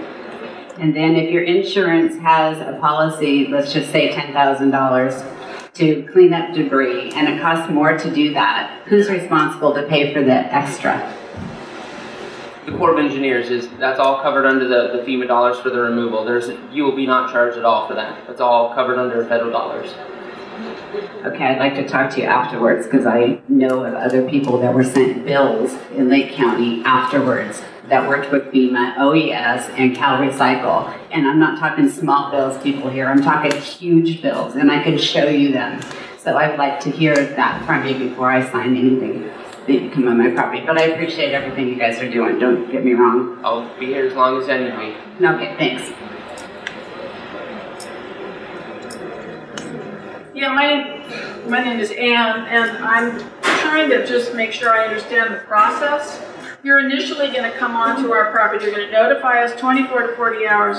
We do not sign any right of entry for that first initial toxic waste removal. How will we know who you are? Because I'm, my house is one that's um, damaged, but standing in a neighborhood that's completely burned out. So I'm quite suspicious of who's swarming around right now. So that's the first question. Mean, it's a. I'm going to look to DTSC for just a second. I mean, the home isn't completely destroyed, and you want a cleanup effort, I'm not. Well, I want to know the first step when you're going to come in and remove that hazardous chemicals. And I understand that's different from the, the thing that we signed for to have FEMA, FEMA come in, or the Army Corps, correct? So, so the ROE is to allow FEMA Army Corps to come in and clean out all the debris. Understood, but there's something that you talked about prior to that. Yeah, so that's the, the household hazardous Yes, waste. that's the one I'm Right, so that's happening now. Right. Okay, so I'm trying to, I guess, differentiate what you're saying. Your house is still standing, but you think somebody's going to come in Well, and I've clean it got, I've got, I've got other buildings that have burned that have probably some household ha- hazardous waste in them. So the first process is coming in Yeah. and removing those household hazardous chemicals. How will I know who you are? And I do not have to give permission for that, Right, correct? and, and that was because of the governor's executive order, because it's a, um, How will you identify yourselves on site? We'll have, uh, we'll have placards on our vehicles identifying us as uh, representatives from the Department of Toxic Substances Control. We'll probably, you'll probably see two or three of our vehicles, and then you'll see a couple box trucks and a couple three-quarter ton pickups. And what we do is, when we come on a piece of property and we see the primary house is still standing, we always go over and talk to the property, owner, knock on the door, make sure they're home. If they have any questions, we're there to answer your questions. So we always try to, It won't be a subcontractor that's No, it's my poorly identified. Okay. It's my contractor. I will have a DTSC crew person with them the entire time. And we also have a county representative with us at all times as well. Is there any number to call to find out when you're likely to be in my neighborhood? I could give you my crew leader's cell phone number. I may want to clear with her. Everybody else I don't think she will. Okay, the second. I'll give it, we'll talk afterwards, I give. Second question. I'm hearing a lot of concern in the community about signing the um, right of entry and signing up with the Corps because you don't have any choice about what's removed. So for example, I have a building that's not covered under insurance that had a concrete slab. Is that going to necessarily be torn up or will I have any choice about that? so, I mean, if you want it to be done and it's not insured, I don't. I want to rebuild on that slab if I can. but it's been burnt. Yeah, yes. Yeah. What was above it was burned. Yeah, so, so the slab's gonna go. I mean, that's, that's the, how, how it's gonna work right now. Based on the experience that we have with the toxic substances and the slabs, a fire of this magnitude and how hot it was, the slab's toxic. Okay, I just wanted everybody to hear that. Has to go? The slab has to go. So, on that subject, one of the one of the things that besides the slabs, the foundations are likely going to have to go as well, because a lot of the foundations were subject to failure because of the uh, fire. So again, many of the foundations um, did experience cracking as a result of the fire. And again, this is something that the Army Corps has indicated that they will clean the site, including the foundation. Um, my name is James Bazinski, and I, uh, my land is on Tomki Road, one of the places that got hit the hardest, and my land got hit from side to side. And uh, I have my primary house uh, moved right down into the ground, and so did a secondary house and outbuildings. In fact, everything went. Um, and my question was about the foundations, which you actually just answered, because I was, uh, I read in the Press Democrat that any wildfire requires that the foundations be fully removed. And my question was, was there a way to test that to see how badly damaged any one of them might have been? Or did they just do a big uh, roundabout and say all of them must be removed just because of the fire? It's a good question. It's my understanding that when the Corps comes in, they will remove the foundations. If you want to keep that foundation, then the burden of testing is on you as the homeowner. Okay. Otherwise, they will remove it and you won't have to deal with the testing. Okay, that's good. Thank you. And the burden of the cleanup as well. Uh, the burden of the cleanup. Right, the uh, removal of the, of the foundation. They pick it up and remove it and take it with them. So you're not, if you choose to do this on your own, you have to test the foundation and you have, have the burden of removing that foundation. If you opt with, with the services of the state and the federal government, they do the cleanup, they remove the foundation. So otherwise, if I don't say anything or request anything, then automatically they will be removed. Yes. And what is left is a hole in the ground? What, what they do is, is I was told that they will uh, remove up to six inches, maybe a little bit more, but I'll defer that to Cal OES and the Army Corps of Engineers, but they leave the site so that you can go ahead and rebuild later. Again, there's no compaction, so that's something that comes later, but, uh, and that's something that you would do, but they're leaving you a clean site to So- begin with. So you're saying that you remove six inches and yet your foundation is 18 inches in the ground. So that which is underground stays? It all, it all goes? So then there's a hole in the ground? Yeah. Okay. And that's what, that's what I expect to see when I come back to my place. If it's toxic, it's gonna go. Okay, thank you. I just want to jump in real quick because uh, the MAC has received some questions prior to this meeting, and one uh, germane to this issue, which is uh, when those foundations are removed, considering that we're moving into the wet season, and we do have often very, very wet seasons here, uh, what about erosion and, you know, damage to the site that, you know, and, and how, how is that going to be compensated or dealt with? I guess I'll take that.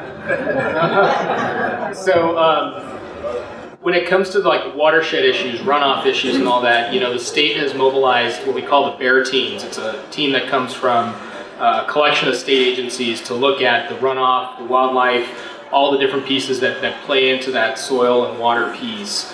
Um, be looking at you answering this. I'm so sorry. Um, so that, that piece has already been mobilized. So they're, they're out there, they're going to start doing that work to figure out, you know, what mitigations need to be done uh, for, for that environmental protection. I mean, look, this is California, right? Governor Brown, who do you think cares more about the environment than Governor Brown? So there's just no way that, you know, we're going to allow some major catastrophe to happen to your environment and, and, and the beautiful place that we all call Mendocino. So, yeah. Thank you. Hello, Danielle, River Valley resident. A lot of the programs is kind of off subject, but I still think it's important for my Red Valley community. A lot of these programs out there have deadlines. Red Cross is stationed up at 132 South State. They're paying prescriptions, medical bills, giving gift cards out. They're only there till tomorrow at 7 p.m. So a lot of people don't know that that I've talked to, like fire victims. NCO is only doing that for 30 days after 100% containment. This morning we were at 98%. Is that still correct? So a lot of people don't know that large savings account and then the instant gift cards that are available at Mendocino College is only available for that amount of time. EDD, unemployment, whether you're self-employed or not, is only until November 16th. So a lot of people are worried about this right now, and I get that, I totally understand that, but those deadlines are important too for everyone to know about. Does FEMA have a deadline?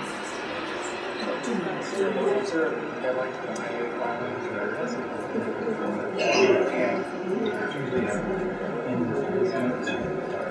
so, so I'm looking at FEMA a little bit. Um, there hasn't been a deadline set for how when the end of this incident actually is. You're talking about some stuff that's Red Cross centric, not necessarily. And NCO or savings account that's set up for credit union and other places. Yeah, and, and I'll defer to, to the county Yeah. to answer that question. Um, but as far as the individual assistance piece from the state and from FEMA, um, that's still open. So you should still be registering for those programs. Uh, you know, We don't have a deadline yet. there's no deadline for that. Okay, and then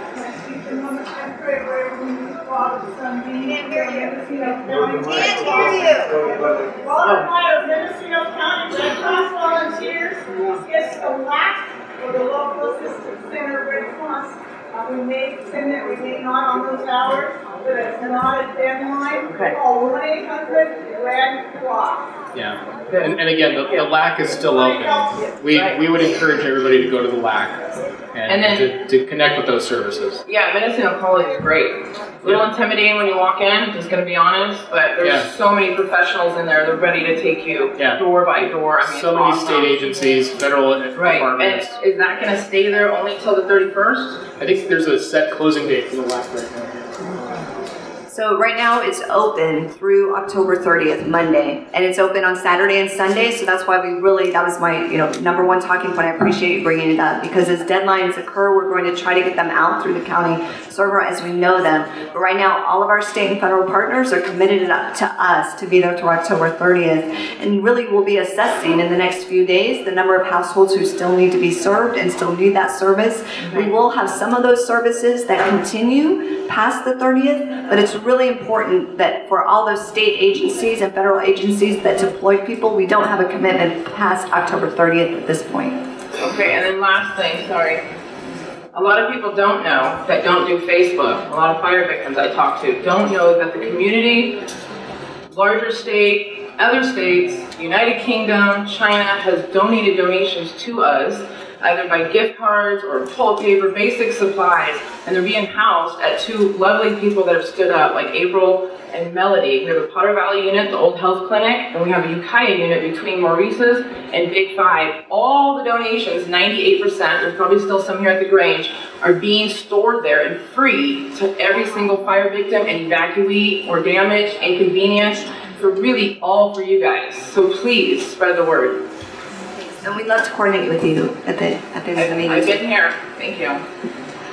I, I want to clarify the NCO. I, I'm greatly involved in the November 4th fundraiser, and there is no talk of a 30-day time limit of NCO distributing money. That NCO is not, over NCO's thing, and it says it right on the bottom of the application, it says, after 100% containment, 30 days, it says it right on the Okay. bottom. and, and Patty is the CEO of NCO. I just want to say that we have a deadline for applying for the emergency money. And then, um, once we give out that money, we will, we'll look at what we have left in the pot. And that's typically used for longer term recovery and there'll be, you know, input in how that's used. And, um, so it's just the emergency check that we put a deadline on because we can't move forward after that, so. So please apply, ncoinc.org, or we have applications in the back. Um, back to the, the tree issue. Um, we were in the grade fire uh, in July, and my first impulse was I wanted to cut down all those unsightly black, dead-looking trees. And now a number of things have come back that I didn't expect. In fact, I was looking at some some um, manzanita, and I said, "Oh, I'm going to cut all this down." And then I looked, and there were green buds on it. This is from July, so you're not going to see that till next spring. But what these trees are going to do, these dead trees and branches are going to do during the winter, is they're going to slow the fall of the rain down, and you're going to it's going to help mitigate erosion and protect your property. So put up with the ugliness on your property if you possibly can. If it's a danger, if it's threatening an existing structure, if it's threatening a road, yeah, you can you know you can limit and, and you know safety is important, power lines, anything else. But if it's not threatening that, I would strongly suggest leaving leaving all that, whether it's orchard trees or, or um, wild trees or anything like that. And I'm hoping, I'm just wondering if the state is advising people that, because I think my impulse was to cut down all this ugly stuff so I didn't have to think about it, and just to counsel people about that, that in three months, in six months, they're going to be glad of what they left. Oaks, oaks take up to a year to, for you to even tell what, what um, was dead on them. The black trunks, you know, the thick outer bark of an oak tree, the trunk will be all black, but the cambium isn't destroyed in some cases. In some cases it will be in this fire. In some cases it won't be. Sometimes it was moving fast, sometimes it was moving slow. So, you know, just be patient with, with removing your, your um, trees and shrubs. I would like to mention as well, uh, part of what we have written into our contract, we realize that a lot of trees that look damaged are not dead. So one of the things that's written into our contract is that a certified arborist will be on site with the contractors to evaluate those trees that are immediately around the homes to make sure that we are not taking down trees that are still alive and may recover this spring. So we're looking specifically at trees that are a hazard to the immediate piece of property to the home. And those ones will be evaluated. If they are dead and the arborist says take them out, we will remove them. Uh, but if they're marked as trees that are still alive and will recover, we will not be removing those unless they pose a direct hazard via large broken limbs or those types of things. My name is Chris. I have a couple of questions. The first one is directed to the SBA. I'm not sure where they went. Um, the question is, is, can I use the loan money to buy a new property? Um,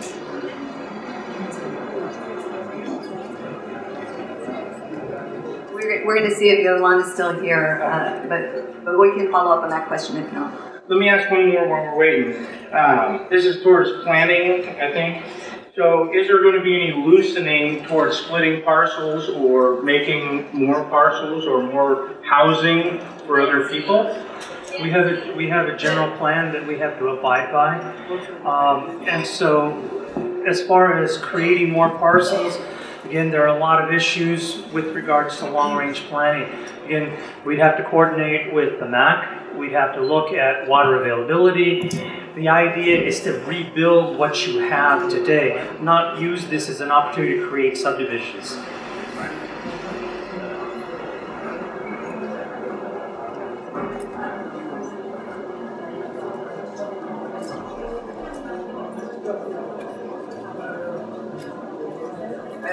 Making his way to the microphone. Yeah, we'll get back to you on your SBA loan question.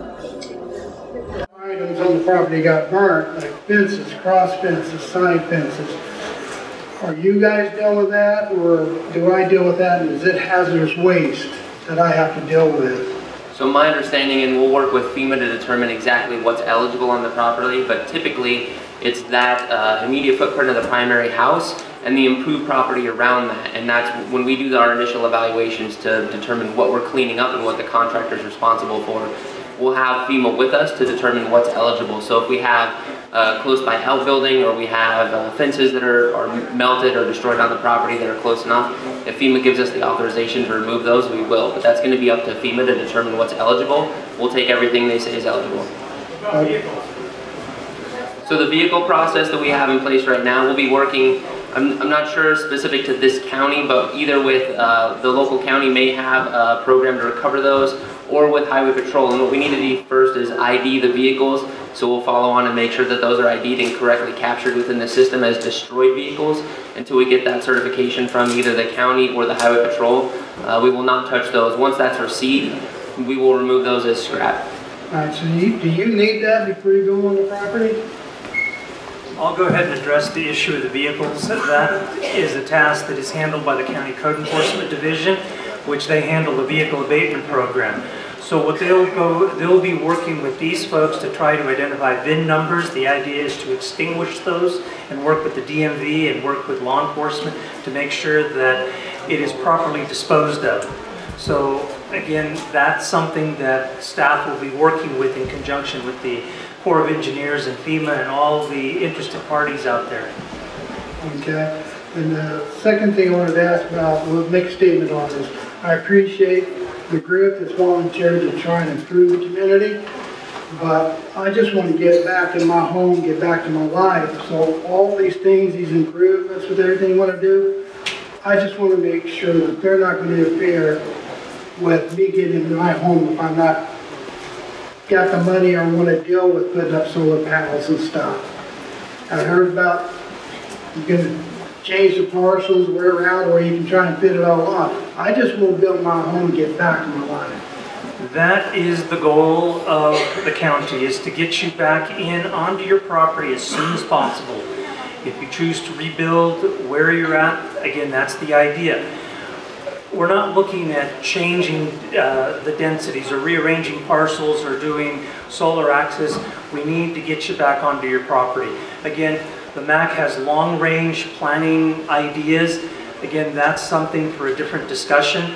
Um, but we're working under the current land use regulations to get you back onto the property as soon as possible. All right, thank you. Thank you for your time, guys. Thanks. My question was actually about vehicles, which you've mostly answered, but I'd like to know if we can expedite it by collecting the VIN numbers on the vehicles that we do know that are on our property? If you have that information, one of the things that I'll ask that you do is you provide that to our staff in the back, uh, especially when you're filling out those right of entry forms. Indicate what you have on there so that you label it as something to be removed. And if you have the VIN numbers, provide that. Again, it'll make our job easier because what code enforcement will need to do is to go out onto the site, check to see if it's a VIN number. In some cases, the VIN number has been melted, melted, and so it's a destroyed vehicle.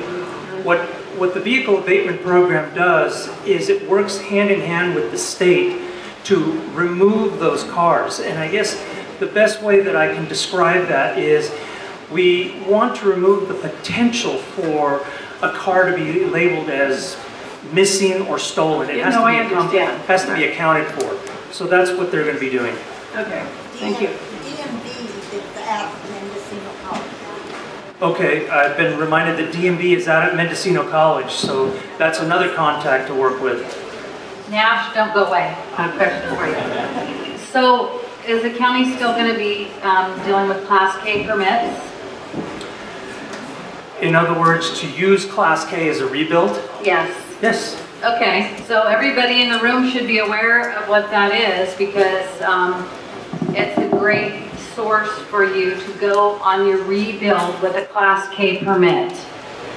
I won't go into a lot of detail with it, but just write it down, look it up, do it with the county. I'm currently building my house with a Class K permit and it's worked very well. So I'm just gonna, Before you you, wanna before you go down that route, I would encourage everybody to talk to the building official about going down that route. Uh, Again, you know, and also talk to your insurance companies to see if they will allow for that. Again, because there is the, what we call the Uniform Building Code, or actually it's referred to as the California Building Code, which is a certain standard, and then Class K is a different standard. So you really need to be talking to your insurance companies about their requirements to be able to rebuild at the current building code. Class K was a re- relaxation of the building code that occurred back in the 1980s. Again, all I can do is caution you to talk to your insurance companies. If any of you know me, you can talk to me as well about that. um, okay, so the next question is for Carre Brown. Oh, Carre, Botsy. Um, we talked about on the phone that you have one year from the time your house burns down to deal with your septic system without having to replace a system. How is the county going to deal with that? And what did you uncover with the State Water Resource Board relative to that, if you have yet? Okay, I'm going, we think there's some confusion that you had as to what the, the regional board is doing right now. Nash has been in contact with them. The one year is um, with septic, um, individual burned down homes. Um, I believe there's a grandfather with that. If they haven't been, if the septic system, system has not been destroyed. But Nash, you wanna, or do we have environmental help here? Okay. Trace, where are you?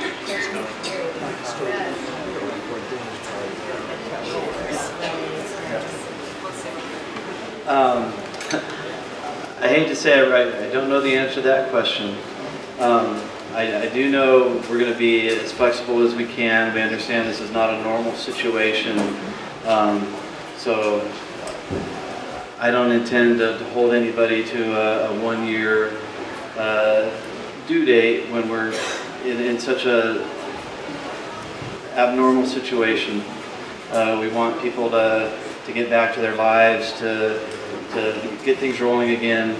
Um, so, so we're going to look at all those policies and wherever we can be flexible, we are to help people get back on their feet. Okay, thank you. Hi. Um, I don't have a question so much as some information to offer. I, my name is Carol. I live here in the valley, but I, I also deliver the mail in Hopland. And last week, I talked to someone at Hopland Field Station, which is part of UC Davis, and they said that they are extremely sorry for what has happened to our community, and they want to help our community. And they're trying to put together some programs like reseeding wildlife lands, um, they said there's still time this year before the rains to get new grass growing, which would be a big help as far as, you know, when the rains do come. And I, I talked to Katrina Fry about, it, and so hopefully she'll be able to get more information as the field station comes up with what programs they're going to do. It's still, they're kind of still in the works, but know that that that, that their help is out there too for restoring wild, wildlands and the grasslands. I just want to add that we will be working with our local uh, and state and federal partners around creative ideas like this. So I have a lot of cards here if you want to connect me with someone, but we certainly will be reaching out to UC Davis as well. I just want to say uh, what I was told about deadlines. I went to the college and the FEMA lady who was sitting in front said if you don't apply in the first two months, you cannot get into the system. From the, from the end of the declaration period.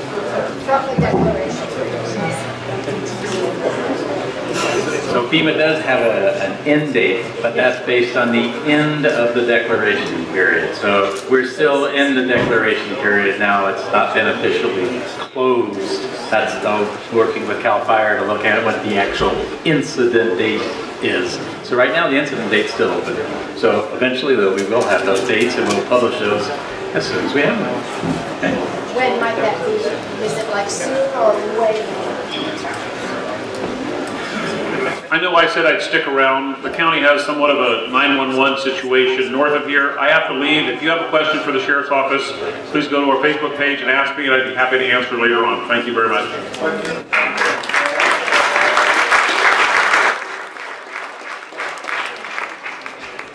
I don't know. It doesn't have to be a fire service question. So. Hi, my name is Deanna. I have two questions. One for building and planning and one for tax division. Um, when the Lake County fire happened, they were allowing people to let their friends and stay on their properties and trailers if they needed a place to stay. Is that happening here? If I have a friend that wants to on my property and trailer and I have a 30 amp, I have a septic system, and I can detain them, is that possible? So one of the things that we discussed this morning at the Board of Supervisors is an urgency ordinance that we're looking at bringing to the board next week that would allow for the establishment on a temporary basis with an administrative permit a recreational vehicle, travel trailer, mobile home be placed on a property that would allow for people to either establish them on the subject property that's been burned or on another property, again, for a three-year period. But that permit's over a thousand dollars. There is a cost, yes. Yeah. Okay, so to help somebody that isn't available, unless I wanted to pay the thousand dollars. Well, there is a cost to do this, to process this. Okay. Well, Lake County waived that with that Valley Fire. So I was just wondering what this county's going to do. I've not been authorized to waive the fees. Okay, second question. To my understanding, if you don't have a house in your property, you're not required to pay prop, uh, house property tax. You'll not pay property tax, but not put structure. Is that correct? I'll defer that to our uh, assessor.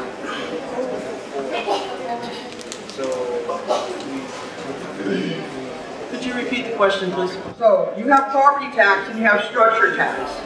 So they don't have a home on their property, they don't have to pay that structure tax. Am I correct? What we're going to do is we're going to issue corrected tax bills. You'll see the improvements removed, but you'll see that the land value will remain. But they'll get refunds what they've already paid since the fire. True. If we, if, but like I said, if you file a damage report, we will defer that first payment on December, that's due on December 10th. If you don't and you choose to pay that first installment, yes, there will be a refund process for that. Okay, that's why people don't know they don't pay taxes, there's no structure there. Thank you. My question, oh, I'm Karen Hart, my question also is about property taxes. Um, At the Mendocino College, I was given a, a form by the assessor's office to have it reassessed due to the damage prior. Well, I'm thinking of alternatives, like if I fill in the form, the assessment will be reduced by the dwelling.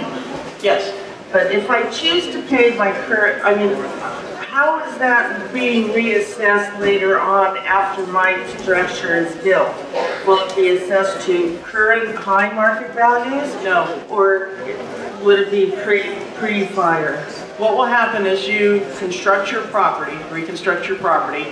We will be going out and we will be looking at the value that's added back. But we will add it back at its original Prop 13 value plus the trends. So say for example, you had $100,000 in improvements on your property tax bill, but your, your improvements are worth half a million.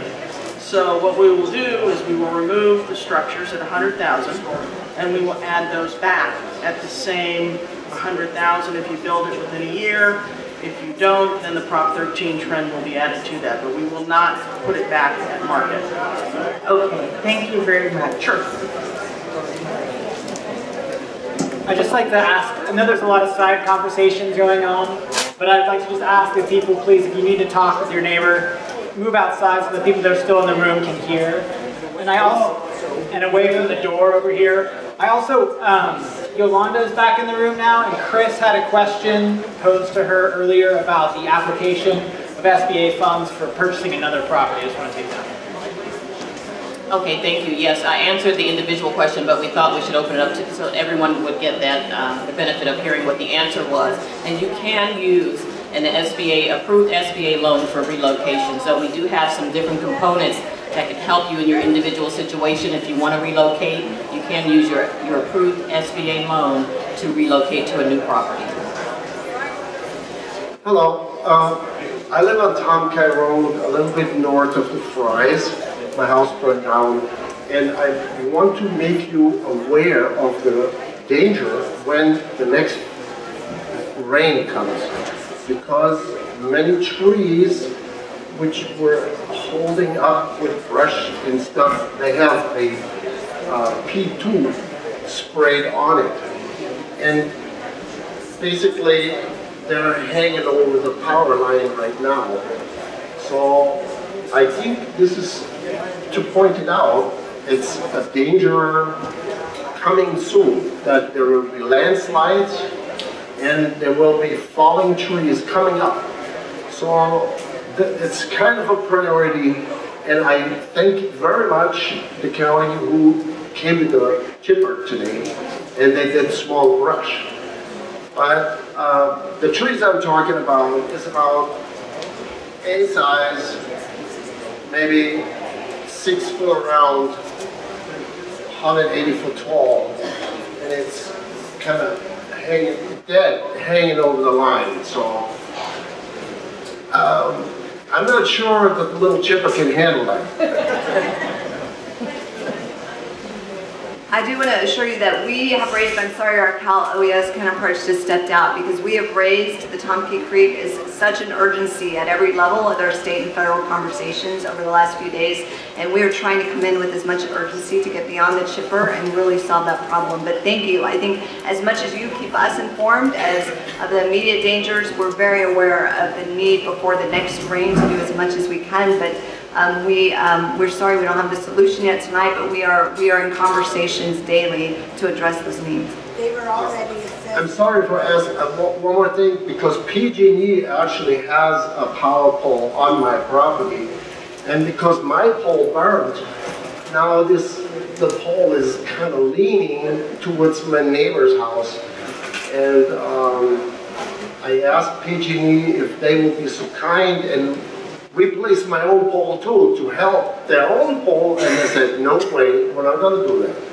I You know my cell number. Yeah. You know my business number. Give me a call. Okay. And leave, you know, leave me your number. I'll work on that with PG. Okay, thanks, Carre. Someone in a yellow vest is tracking you down. Oh, how you, oh, I got it. Hi, my concern is with wells in the um, Mohawk Trail area where I live. My well house destroyed, my well was destroyed. I had the people out there, the well people, and it seems like I got more confusion back there than when I started. I, they're telling me I cannot remove fallen debris, there's nothing, it's just wood that the house, the well property was, but everything else is destroyed. I'd like them to be out there as soon as possible, and they would, but I don't have authority, I don't know if I'm even allowed to touch a piece of wood on the cement slab that it's on. Um,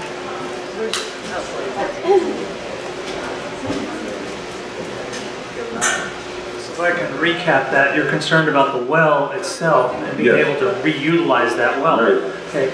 Um, we have environmental health here, but what I would like is that when you fill out that right of entry form, you put information on there with regards to the well so that when the appropriate cleanup folks are out there, they're not going to go ahead and disturb that well. Okay, no, the well has been destroyed, everything, the computer, yeah, the the whole thing is gone. But um, unfortunately, I read the Valley Water, but I'm sure a lot of people don't and depend on their wells. And I'm sure I'm not the only one asking this question. So I, I, I don't know, I'm still back to square one. I don't know what to do.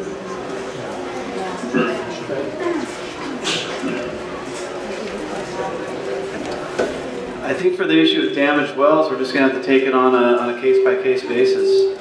Some wells might be able to be uh, re-sleeved if just a portion of the casing has, has burned and the sanitary seal is still intact. Uh, Maybe it can be, be re- re-sleeved. Uh, And if it can't, the, the well might need to be uh, properly destroyed and and another well Well, well, the well is not properly destroyed, it's destroyed. Um, the sleeve is destroyed. They, what people were there, they're willing to do the work, but he says fire victims will come first. Um, but he says we're piling up, okay? So now I'm, I want to pull this stuff away from there because it's nothing but a slab with a hole in the ground now. And they will fix it, they will do the whole thing, get it back to where it was before this fire started. But I have to have some sort of assurance that, yes, I could remove a piece of burnt wood. Okay, so that's a a- access and debris removal access.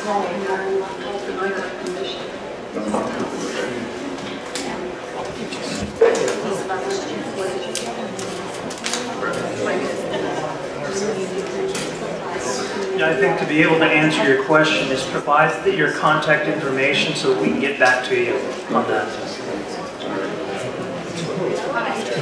To environmental health, I'm sorry, to who? Um, I'm back again. Um, In terms of the rains coming, have I missed news as to when Cal, um, it's not Cal Recycle, it's the Army Corps is going to be doing their work?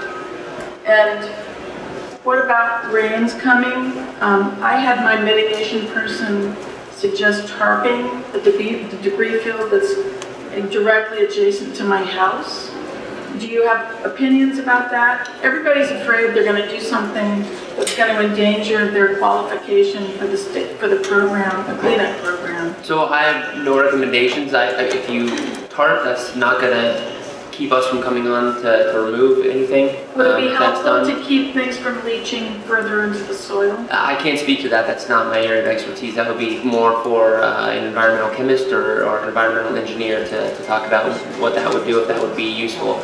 One of our goals, though, is we understand the rain is coming and want to get this completed as quick as possible. So again, our goal is by this weekend to have our crews start mobilizing their equipment in the area. So we'll be confirming that trucks are meeting safety codes, all those things, so we're ramped up. And then as soon as we get enough of the, um, from DTSC, if we get those properties that are available that have ROEs, we'll be set up and ready to move in as fast as possible.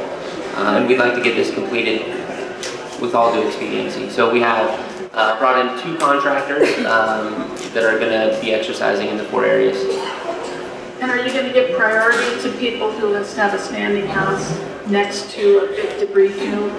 So priority is going to be you is going to be in conjunction with the, the county and, and uh, with Cal OES. So they're setting up a phasing, and the idea is to be as efficient as possible with the removal, so we can get it done as fast as we can. Okay. Um, so we'll work with them on whatever they set, where they want us to go, and where we're collecting the ROE, so we can be efficient with the process. And once we submit our application, will we get some sense of where we are in that list?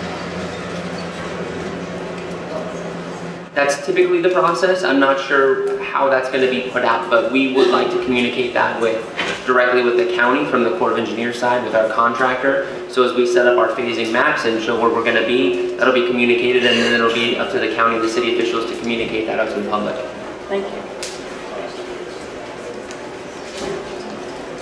Hi, I just have a couple questions. My first one is gonna be for people that move trailers onto their property and incur this thousand dollar fee. That you're assuming their house is burnt down, the power drop is now gone, so these people are gonna move a trailer onto their property. What are they gonna do for power? Will they have access to a temporary power, or the ability to get a temporary power pole without issuing engineered plans and going forward with building right away? Okay, let me go ahead and address that. Again, the idea is to get you back onto your property as soon as possible. So typically, and I'll say typically what is done is you need to file for a building permit, get a temporary power pole, the administrative permit. This administrative permit will allow you to live on that property without having to have a building permit for a permanent house. This will allow you up to three years on that property. Again, with that, as a sidebar, you'll be able to come in and apply for a temporary power pole. Okay, what will be their incurred cost at that point? They'll pay the thousand dollars in order to move the trailer onto the property, so what will be their extra cost logis- logistics wise just to get the permit, not including the cost of the panel, the pole, a contractor to put it in, all that? And I think that's something people aren't gonna realize is gonna be a problem for. Again, that's something that I'm going to ask that you speak with the building department about specifically because everything is based on valuation and what you're doing. So I would encourage you to talk to the building department because they will tell you what the cost of that drop, that cost of the power pole. Okay. My only other concern is with insurance for the residents. Um, on your insurance, you have a line for demolition for your property. Um, that pays for the house to be removed. Are you guys gonna stick to that guideline? Or are you gonna dig into the code upgrade and the different lines of insurance that allow them to build the structure they need to build today? I'm sorry if I'm going too far with all this. No, these are all good questions. Again, when you rebuild today, you're rebuilding to the 2016 building. Right, and that's, that's what code upgrade and extended coverage are in your insurance for, but on the lake fire, we found that a lot of people were, I'm gonna nicely say missing that when they went to go actually rebuild, and the bills that they were getting from Cal Recycle were existentially larger than private contractors. So I guess just my concern for my community is not to see them with their stick homes turn into bonding family trailers. And I hate to say it like that, but I think it needs to be said. Again, these are the, these are the types of things that Cal OES addressed. They're, they, they will go ahead and cover the cost of all of this. Um, there is that line item in the insurance that deals with that item. Okay, anything uh, up to that item, uh, your insurance will have to cover that and return back to the county and to uh, OES and to uh, the removal team. Excuse me. But as far as if you don't have insurance, Sure. okay, then again, it's something that's covered by Cal Yeah, that's a whole other deal. I'm just more concerned with the people that are gonna have to put in fire suppression systems and God forbid sealed soffits and wildfire windows and all the fun things that you You'll, have to you'll have to rebuild to the current code. So And that's why your insurance has a code upgrade provision. So all that will be less. The only thing that you guys are gonna take is just literally the demo line. And that's all they have to worry about? That's basically what is, is the debris removal. So you're, that's, that's all that'll be collected from the insurance. Okay. You'll be able to rebuild, use your insurance for that.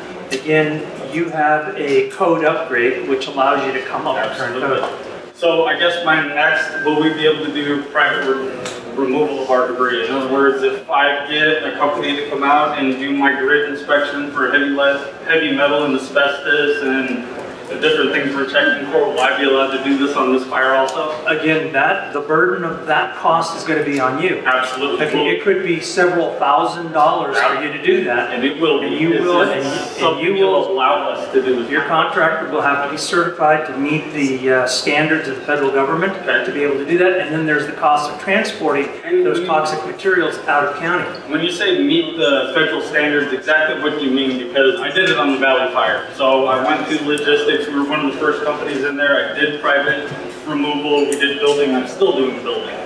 So what are the logistics as far as? I, I would recommend that you go to the FEMA website, the Army Corps website, and maybe these folks can speak to that, but there are certain standards, certain certifications you have to meet to be able to be that type of contractor. Hmm, Okay, yeah, because of the late fire, we didn't have to do that. What we were required to do was to have a company that met all those standards, come in and test it, prove that you had a clean site, and from there, you just had standards of removals. Yeah, again, I'll defer to the Army Sure. So in this instance right now, we're still working on exactly what that looks like, but the process would be, and our concern would be, as long as the standards by a private contractor meet exactly what we're doing, then you'll be allowed to do it on your own. The reasoning behind that is by we clean up these three properties and this fourth one that's in the middle is cleaned to a lower standard, Well- then that could affect everyone else. Yeah, and when we did it, we had to do initial testing and you had to do after the fact testing. So you weren't getting out of that unless it was hundred percent clean. So, you know, and beyond that, the only thing you did was simply put it into a truck, wrap it in plastic and send it off. So beyond the initial testing, there really wasn't a whole lot going on. And that's going to be the, the case here. So as soon as we determine exactly what standards, and we're basing our standards off California Air Quality Board uh, initial testing, once we have those developed and can provide those to our contractor, Okay. those same standards will be published so that if local people want to do it with their own private contractor, as long as they're meeting that same set of standards, Okay. they're more than welcome to do that and they're fine to do it. Okay, we tried to pull a demo permit this last week and were unable to, that's why I'm asking. So our local pro- process is not approved yet for that process yet. We're working with the whole region of counties that were affected so we can have as common as process, a process as possible. Okay, but FEMA's already in working, so it's just for the private people we're trying to put it together, or? Uh, Actually, the only entity that's here so far is uh, DTSC doing the initial household hazardous waste. And then the U.S. Army Corps of Engineers is working with us for the next phase of Okay, but private private contractors will be able to do it though. Yes, there's actually a process right now where you as a contractor can sign up to be a FEMA subcontractor through their subcontractors. Okay. And then there also will be, and if you, if you opt out of that process, we will have a local process, it's just not approved yet. Okay, thank you so much. Thanks. I, I just want to piggyback on some of the issues that were just raised by this gentleman. Uh, I've heard, and I don't know anything about this, but I've heard that in some of the other fires in the past, that, uh, that uh, PG&E has, you know, paid some forms of compensation or put out money to, to add to improvements to the utilities. And since, and I'm not pointing a finger, but since it, it seems pretty clear, correct me if I'm wrong, Fire Chief, that um, I've heard pretty much that this fire started when a transformer went down in Potter Valley. I know the, co- the official cause of the fire is still under investigation. Yes, okay. So, But I, yeah, Chief, Chief Gonzalez, I think, I believe. Yeah. wanted to ask. Because I've, I've heard a number of eyewitness reports that they saw that go down in an explosion and that was the source of the fire. My point being, um, I haven't heard anybody talk about the utilities' role in this rebuilding process. And I, I would really like to draw them in, and I don't know how that works. And I don't know if that's a question uh, Tammy or, or for Nash, or if it's more of a political question, Carre, but I'd like to hear some comment on that. Uh, You know, I, I won't be able to answer that tonight, but we certainly have worked with PG&E through our uh, response process to the disaster. They were involved daily in the response processes, and um, so I'll follow up on the next steps. Hi, um, lost our home on Tomki Road, and our hope is to put a trailer there so that we can get back to our property. We went to the planning department today, and um, we were told that we had to wait for the Board of Supervisors meeting on Tuesday. Um, They've already put a new power pole in, the wire's there, the pole's ready, so we're ready for a pole with a meter. And I'm hoping that you're gonna address at Tuesday's meeting that particular thing also, not just the permit to put the trailer on the property, but how long do we have to wait for PG&E to come in? We actually have an appointment with PG&E to come to our property tomorrow at 10 a.m. But we did go to the planning department today to try and uh, do whatever the process is. And we were told there was nothing we could do until the Board of Supervisors meeting on Tuesday. So I want to make sure that's going to be addressed, not just the trailer on the property, but the power. You mean like a motor trailer or a trailer recreational that you pull? Yeah, well, trailer. I mean, at this point, the size trailer we bought, it's a home. I mean, I. I understand. What, what the Board of Supervisors is doing is looking at urgency ordinances to help people just like you, Right. to put them back on their property as soon as possible. PG&E question, I don't think we can answer when they can come and inspect, Uh-huh. if that's what you're saying.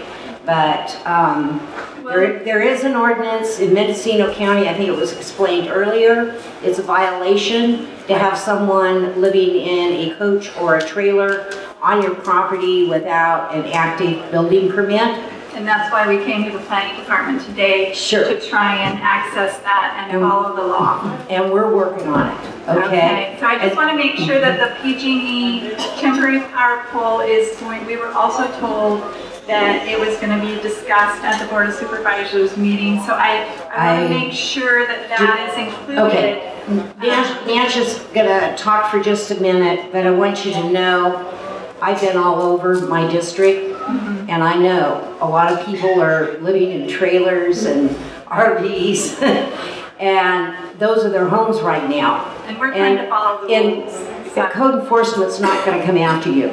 We want to help the victims of this fire. Right. So, um, we're gonna be active that way. I'm gonna let Nash talk about his end of it, but the board will continue working on these urgency ordinance. And your first district supervisor, her name is Carre Brown, she would love to hear your ideas. Thank you. So again, the plan is to take the urgency ordinance to the board next Tuesday. Okay. It is going through a process right now because we also have to deal with state law as far as, uh, does it meet certain tests? So we're going through that process. I, before coming over here, I met with county counsel to go over the logistics of the ordinance. Okay. The idea is to move that ordinance to the board next week, have the board adopt and approve that ordinance so that we could go ahead and allow you to establish a temporary travel trailer or trailer coach or RV on your property. The building department will work with you on a temporary power pole. Again, typically what has happened in the past is you get these permits when you have an active building permit on the site to temporarily live on the property while constructing. The idea is that a lot of you will not be able to get architects and engineers to design plans in just a few days. This is a long-term effort. Yes. The idea is to get you an opportunity to live on your property in a travel trailer that can either be connected to a working septic or be self-contained. And as I've said, the building department will work with you on trying to establish that power. You do need to reach out to PG&E as far as their requirements. We We can't have, answer for yes, PG&E. we, we have, but when we were at the planning department today, they said, well, no, no temporary power. Not yet, because we don't have an ordinance yet. Yeah, so I'm hoping that Tuesday, after your meeting, that you'll have an ordinance. That's our, our goal. Thank you. Howdy, my name's Steve. Um, I have a question for the local water agency. I know some people are on wells, uh, but some people have ag water and um, also local water agency. And a lot of people have a meter box, and when they get back to their property, they're gonna find the meter lid is turned sideways and the meter is turned off Um, most of the time, if the valve is on your side of the property, you're allowed to turn it on without calling the um, water agency. Uh, usually, uh, from my experience, if the valve is on their side, then you need to call them. Could you uh, go through the proper procedure of uh, being able to raise a hose bib off of your meter so you can bring something to your property to uh, be able to live in? Sure. The meter lids turned sideways means that during the fire, we were turning your service off so that we wouldn't waste water. Uh, we were losing 4,000 gallons a minute. So that's an active service. Call us, we'll hook you up. Not a problem. We'll turn it on. And you can hook a hose bib. Um, we are going to be working with the county to require that you have a backflow device if you're gonna hook up a travel trailer, travel trailer is a potential cross connection.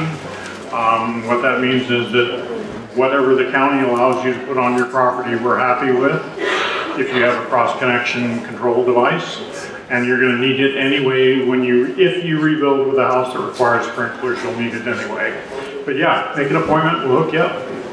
Okay, so um, the best idea is to not touch the, uh, the, the main turn-on valve and just call you guys when you're ready to. Um, so that means that you need to have the PVC up to a hose bib done when you come to um, turn the water on.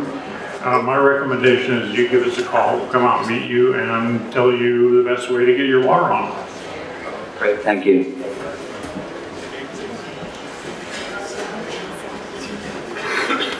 Hello, my name is Maria.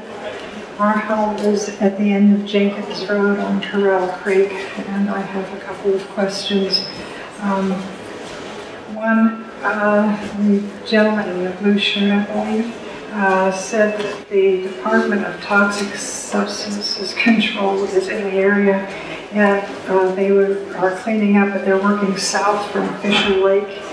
And my question, and then they're going to be uh, going uh, other places, but uh, Jenkins Road, it sounds like they're not going to be getting to that for a while. And one thing that I wanted to say about that is we have a bridge that burned on Jenkins Road, and the steel that is still there, the, the sheeting's gone, the steel that's still there has been tested. Bob Perkowski had it tested, and apparently that steel is toast. It's going to have to completely be replaced. So right now, what is there is uh, a graded um, gouge that went through in, down into the creek and up the other side. That's how PG&E and, so forth has been getting through. But when we get rain, this uh, temporary road is going to turn back into a creek, and people aren't going to be able to, you, especially big trucks, I should think, not be able to get in and out of there to, you know, take things out. So um, I would suggest that perhaps uh, getting, getting, um, well, well, that would be really nice, but my, my thought for the moment is that getting to Jenkins Road would have some uh, urgency about it. Um, you know, there is some flexibility on our scope of work, so now that we know that, I mean, we can, we can note it and try to get into that area sooner than later. I mean, right now, I mean, the weather report's showing clear skies for the next week, but you know that's going to change once we get into November. So uh, my crew leader's in the back. We can write that down. Let's get your address, and then maybe we can focus our efforts in that area, uh, like in the next week. And th this creek is, as I understand it, this is uh, the North Fork of the Russian River, and the, the uh, graded uh, gouge that they put in there has been gravelled, so it's it's good to travel right now, but it won't be long. Okay. Um, so, and the other thing uh, that I am asking about is the vehicles. Uh, we have I have four vehicles there, and I have the VIN numbers from the DMV and all of that, but there were several other vehicles and some trailers there that we don't have VIN numbers on. So how, how do you folks handle that? Um, I would like to kind of do a little detour here on our questions and answers. And I, I believe we addressed vehicles earlier, and the DMV is located at the Disaster Assistance Center. They've got some real specific protocols for that. Are they here tonight as well? The local assistance center, which is at the college? Yes. Good. And, and so they will be able to deal with that. What I, what I want to do now is to see if the questions have been great, but we're needing to refocus toward the other room where a lot of the people are here to answer specific questions. And so if there are people in the audience who would like to quietly adjourn to that back room and start asking questions, that might be a good thing to do. And we will try to address the last three questioners in line, ma'am, including yourself. Okay, because this is not a DMV question, this is a question of how, how the people taking the, the vehicles off the property handle the vehicles that have no, uh, no DMV information. Okay, we need to collect your information. There's a table in the back. Uh, again, vehicle abatement is handled by the Code Enforcement Division. And again, any information you can provide them with the VIN numbers or just let them know what you have. They will come out to the property and assess it and, and help you with the paperwork to remove those vehicles. Thank you. It's the Code Enforcement Division within Planning and Building. Hi, so my question's about the RV on the property, and my question is, do you still need an administrative permit if you have a building permit in process? To bring an RV to live in while you rebuild your primary residence? Okay, if we apply the current rule, you do need an administrative permit if you're going to live on the property with the building permit. Okay. The purpose of having this new approach is that this approach is not tied to a building permit immediately, but it allows you to obtain a building permit within the next three years. Okay, so my other question is then if someone, for example, lost their home, you said that someone could have a guest come and live in an RV on their property temporarily, I think, right? The idea is So- we're looking at density, so we're looking at That was my one, question about one unit, density. primary, a secondary unit, and again, the idea would be that you could have up to two trailers meeting the density, and the way our ordinance will work is that we're looking at accommodations for things like contractors that are tied to the property, rebuilding your home, that even a contractor from, let's say, out of the area needs housing, can actually come onto that site. Great. And use that, that administrative permit. So somebody could potentially have a trailer for themselves for their home, a trailer for their guest house, and then a trailer for a friend that they're letting stay there? Well, it would be a contractor. Okay. Yeah. Okay, thank you so much. Thank you. Yeah, my name's Jeff. I have a question for the Army Corps about um, uh, uh, pools. How do you deal with in-ground gunite pools um, that are next to a destroyed residence? There's debris in the pool, the de- the decks are cracked. Or is that something that's pulled out? You just bring up the, the cracked So- concrete or? So right now, we are, we're, we're not touching pools. Uh, we're leaving those as is and putting a fence around them. Um, we can check with FEMA if, if that's gonna be made eligible, then if the homeowner wanted their pool to remove, be removed, and FEMA said that was eligible, then we would remove that pool. But at this time, we're, we're not removing pools, we're leaving them and fencing them off, so they're not a safety hazard. And debris in the pool, ash, um, wood, uh, stuff that was from the residence? We're, we're leaving that in, in place right now, for fear that, if trying to get that out would damage the structure. Okay, and then that, how does that other debris get removed if it's passing hazmat waste? Uh, we're still determining what that process is gonna be, okay. how we're gonna get that out, or if that's gonna be something that will be done after the fact. Okay, but if you see scorched concrete, you and you're pulling out full foundations, and you see scorched concrete around the pool, are you pulling out that concrete that's, you know, decking around the pool? We will if FEMA gives us that as an eligible piece to pull out and the homeowner wants it done. Okay, thank you. Hello, my name is Adrian Diaz. I live on Tomki. Well, technically on Tomki, but my property butts up into uh, Rudy Lightsville property and the cul-de-sac of Fisher Lake. So I've been here the whole time, listening, and I want to make sure I have a few questions, but that they would be general questions that apply to everybody. And some of these weren't answered. And my first question is, is the debris, is it going to be tested by lab analysis? Because it seems to me that it's just going to be a presumption by the Department of Sub, uh, Toxic Substances Control that it's just going to be presumed to be hazardous. We will be testing the debris. So if we can determine that the debris is not toxic, that reduces the, the burden for removing it. We can be more efficient and less cost. And so we will be testing debris on every single property as we go, and that's we're determining what exactly that looks like and what standards we're going to have to test to. And those will be based on California regulations, and Quality Board for, for all of that. But as we determine what level, that's the level we'll handle that. So if it's not toxic, we'll handle it as non-toxic debris. I appreciate that because that really drastically changes how that material is processed and the particularities of how it can be removed and transported. So I wasn't sure it was going to be tested prior. Additionally, um, what happened to Cal Recycle? So CalRecycle was used by the state of California in the 2015 fires to do the removal.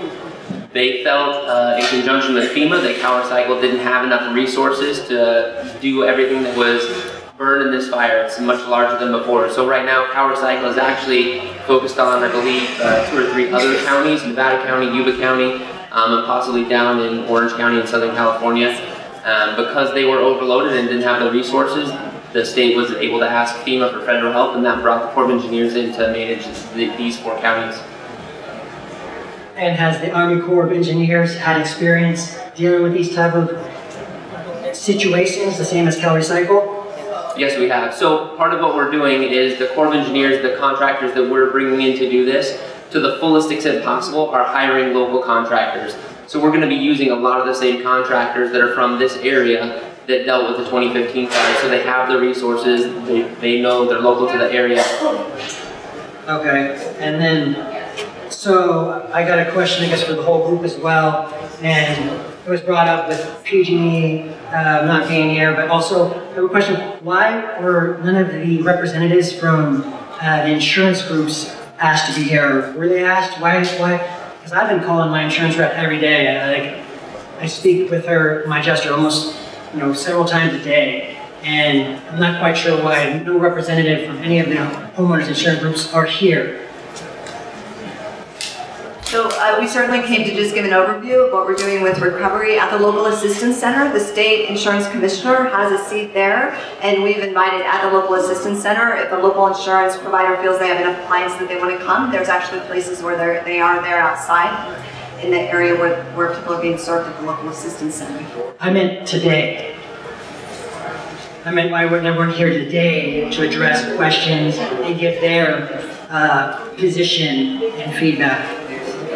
Okay. Hey guys, we're, we're uh, this is our first meeting, and uh, that's a really good question. And uh, maybe for the next meeting or the one after that, we'll One be more. able to. Have one more? Sure. This right of entry form, if it's signed, can I as a homeowner later void that contract for whatever reason? And additionally, is this right of entry contract, does it have a hold harmless rider on it?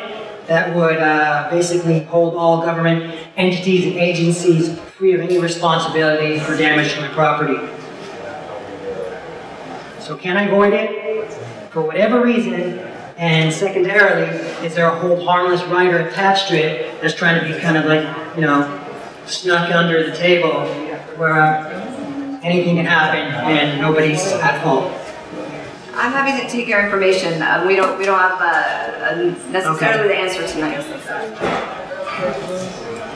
All right, um, I'm going to take this as our last question just because we would like to have enough time for people to move in and talk to these individuals. So I'm going to take this question and then Supervisor Brown. I have a, I have a, my name is Richard Rhodes, and I have a question that's been touched on about slabs and testing. I didn't get the, the definitive on this. If I have a slab tested and it comes back clean, but the site is otherwise contaminated, will the contamination be cleaned or not?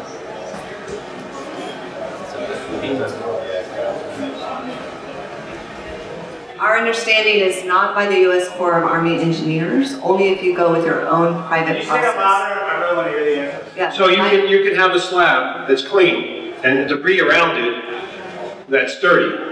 And the slab is clean, it's test clean, or it's test uh, that it's not burned to the point of, of being toxic, all right? But the rest of it you won't clean up.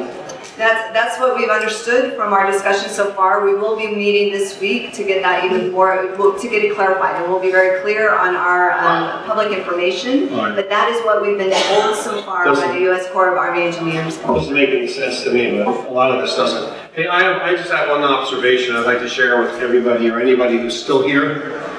I am here and I'm listening to a lot of expense, a lot of money after the fact. And I don't know how many millions or billions of dollars this is gonna eventually end up to be.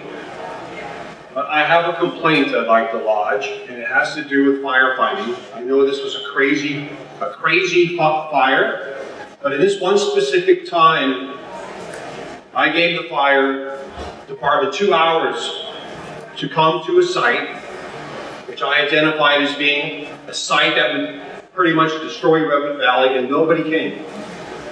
So all of the citizens along the eastern slope here in Redwood Valley fought as hard as they could to stop this fire, and nobody came. So what you see coming down Road J and over down Road I and across is because nobody came. Nobody helped. All right, so I asked these men who came out here to fight, do you know what you're doing out here? No, they don't have no map, they've never been here before, they don't know about all the wells or all of the, the, the acres and acres of foot, foot pond water that's available. No terrain knowledge, no knowledge of how wide anything is or what the breadth of it is or, or anything else. And because of that, we're spending, going to spend all this money and a lot of these people are out of their homes. Now, I understand that the firefighters spend four days on and four days off. I've talked to quite a few of them, or maybe it's even four days on and four days off. And I ask them, what do you do when you do all that? Well, they do housekeeping, or they do this, they do that. There's other things to keep them busy while they're there, and I think that's a very good thing. They should stay busy.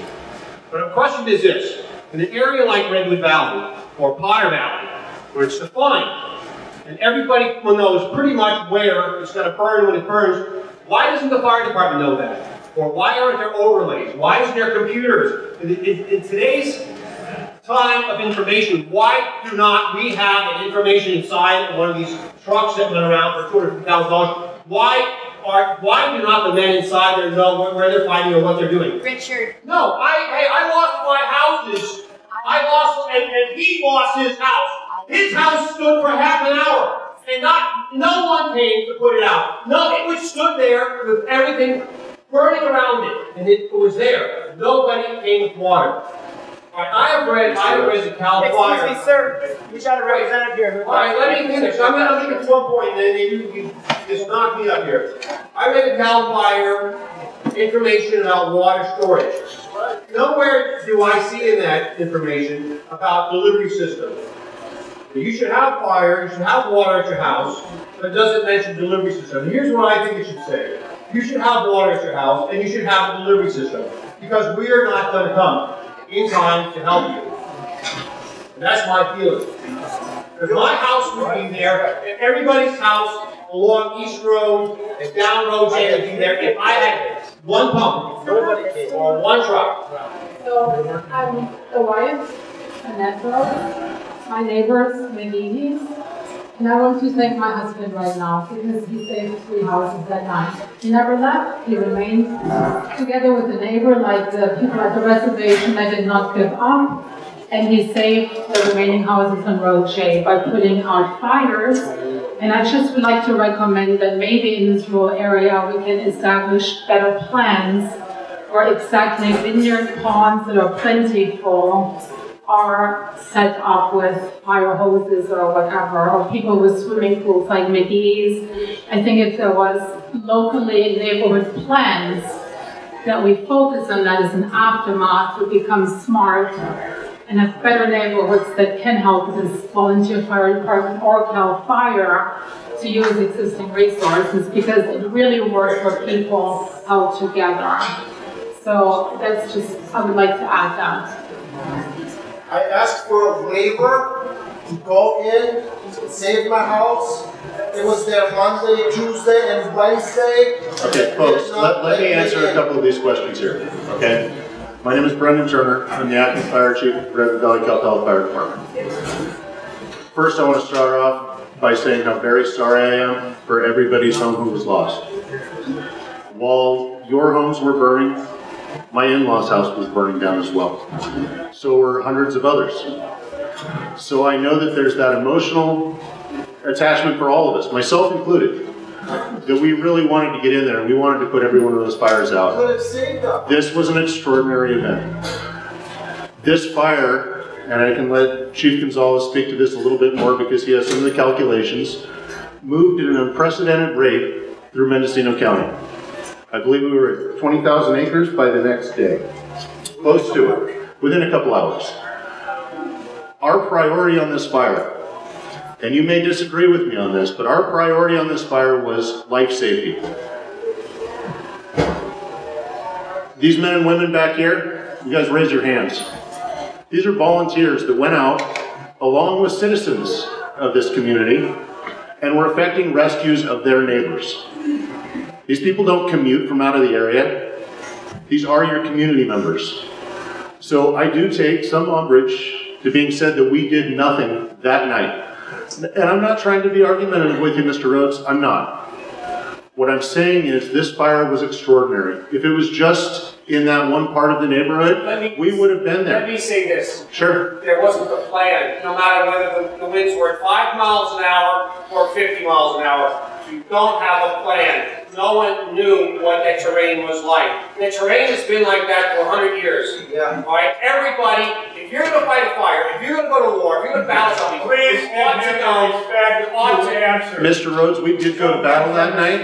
Show me some Let respect. Show me some We respect. listen to Call me you. back on the telephone sometime. Mr. Rhodes, Yeah. Mr. Rhodes, please.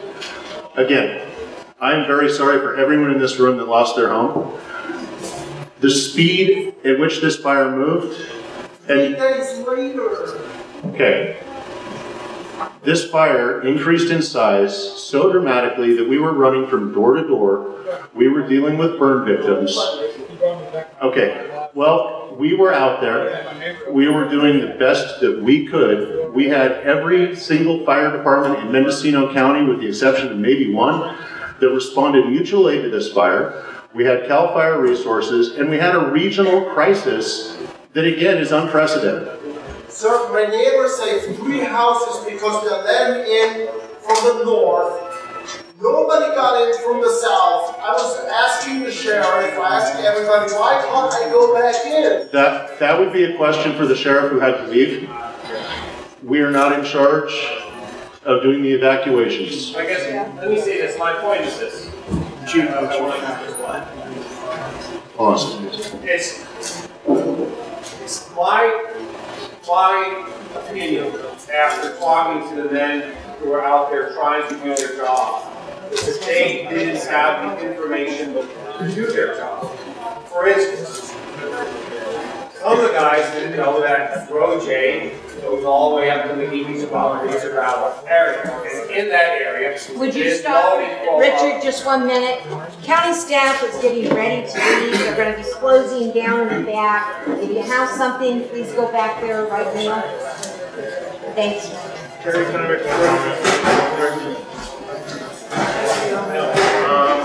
Uh, Speaking for the water company, I was told to expect a bunch of people asking me how to get their water on. Real simple, call the office, make an appointment, meet us, we'll turn you on.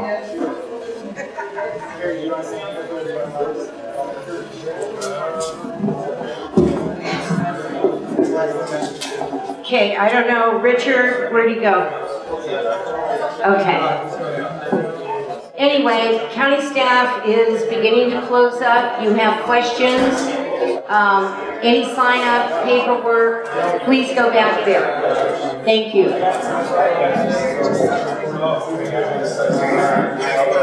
Those of you that have been coming to the Redwood Valley Grange, I just want to let you know, we're going to be open one more week. We're serving a meal a day. The hours are 11 to 3. We're still taking some donations. The majority of the clothing donations is going down into Ukiah. We're working on a local Redwood Valley site for a donation center. And this Friday, we're having an open pantry, free food giveaway, just like we did. Sunday, we have a community tri-tip barbecue. It's free, it's here. It's happening with the Lions Club, the Redwood Valley Grange, and the Redwood Valley Store. So you bring your extras, but the tri-tip and chicken will be here and be barbecued.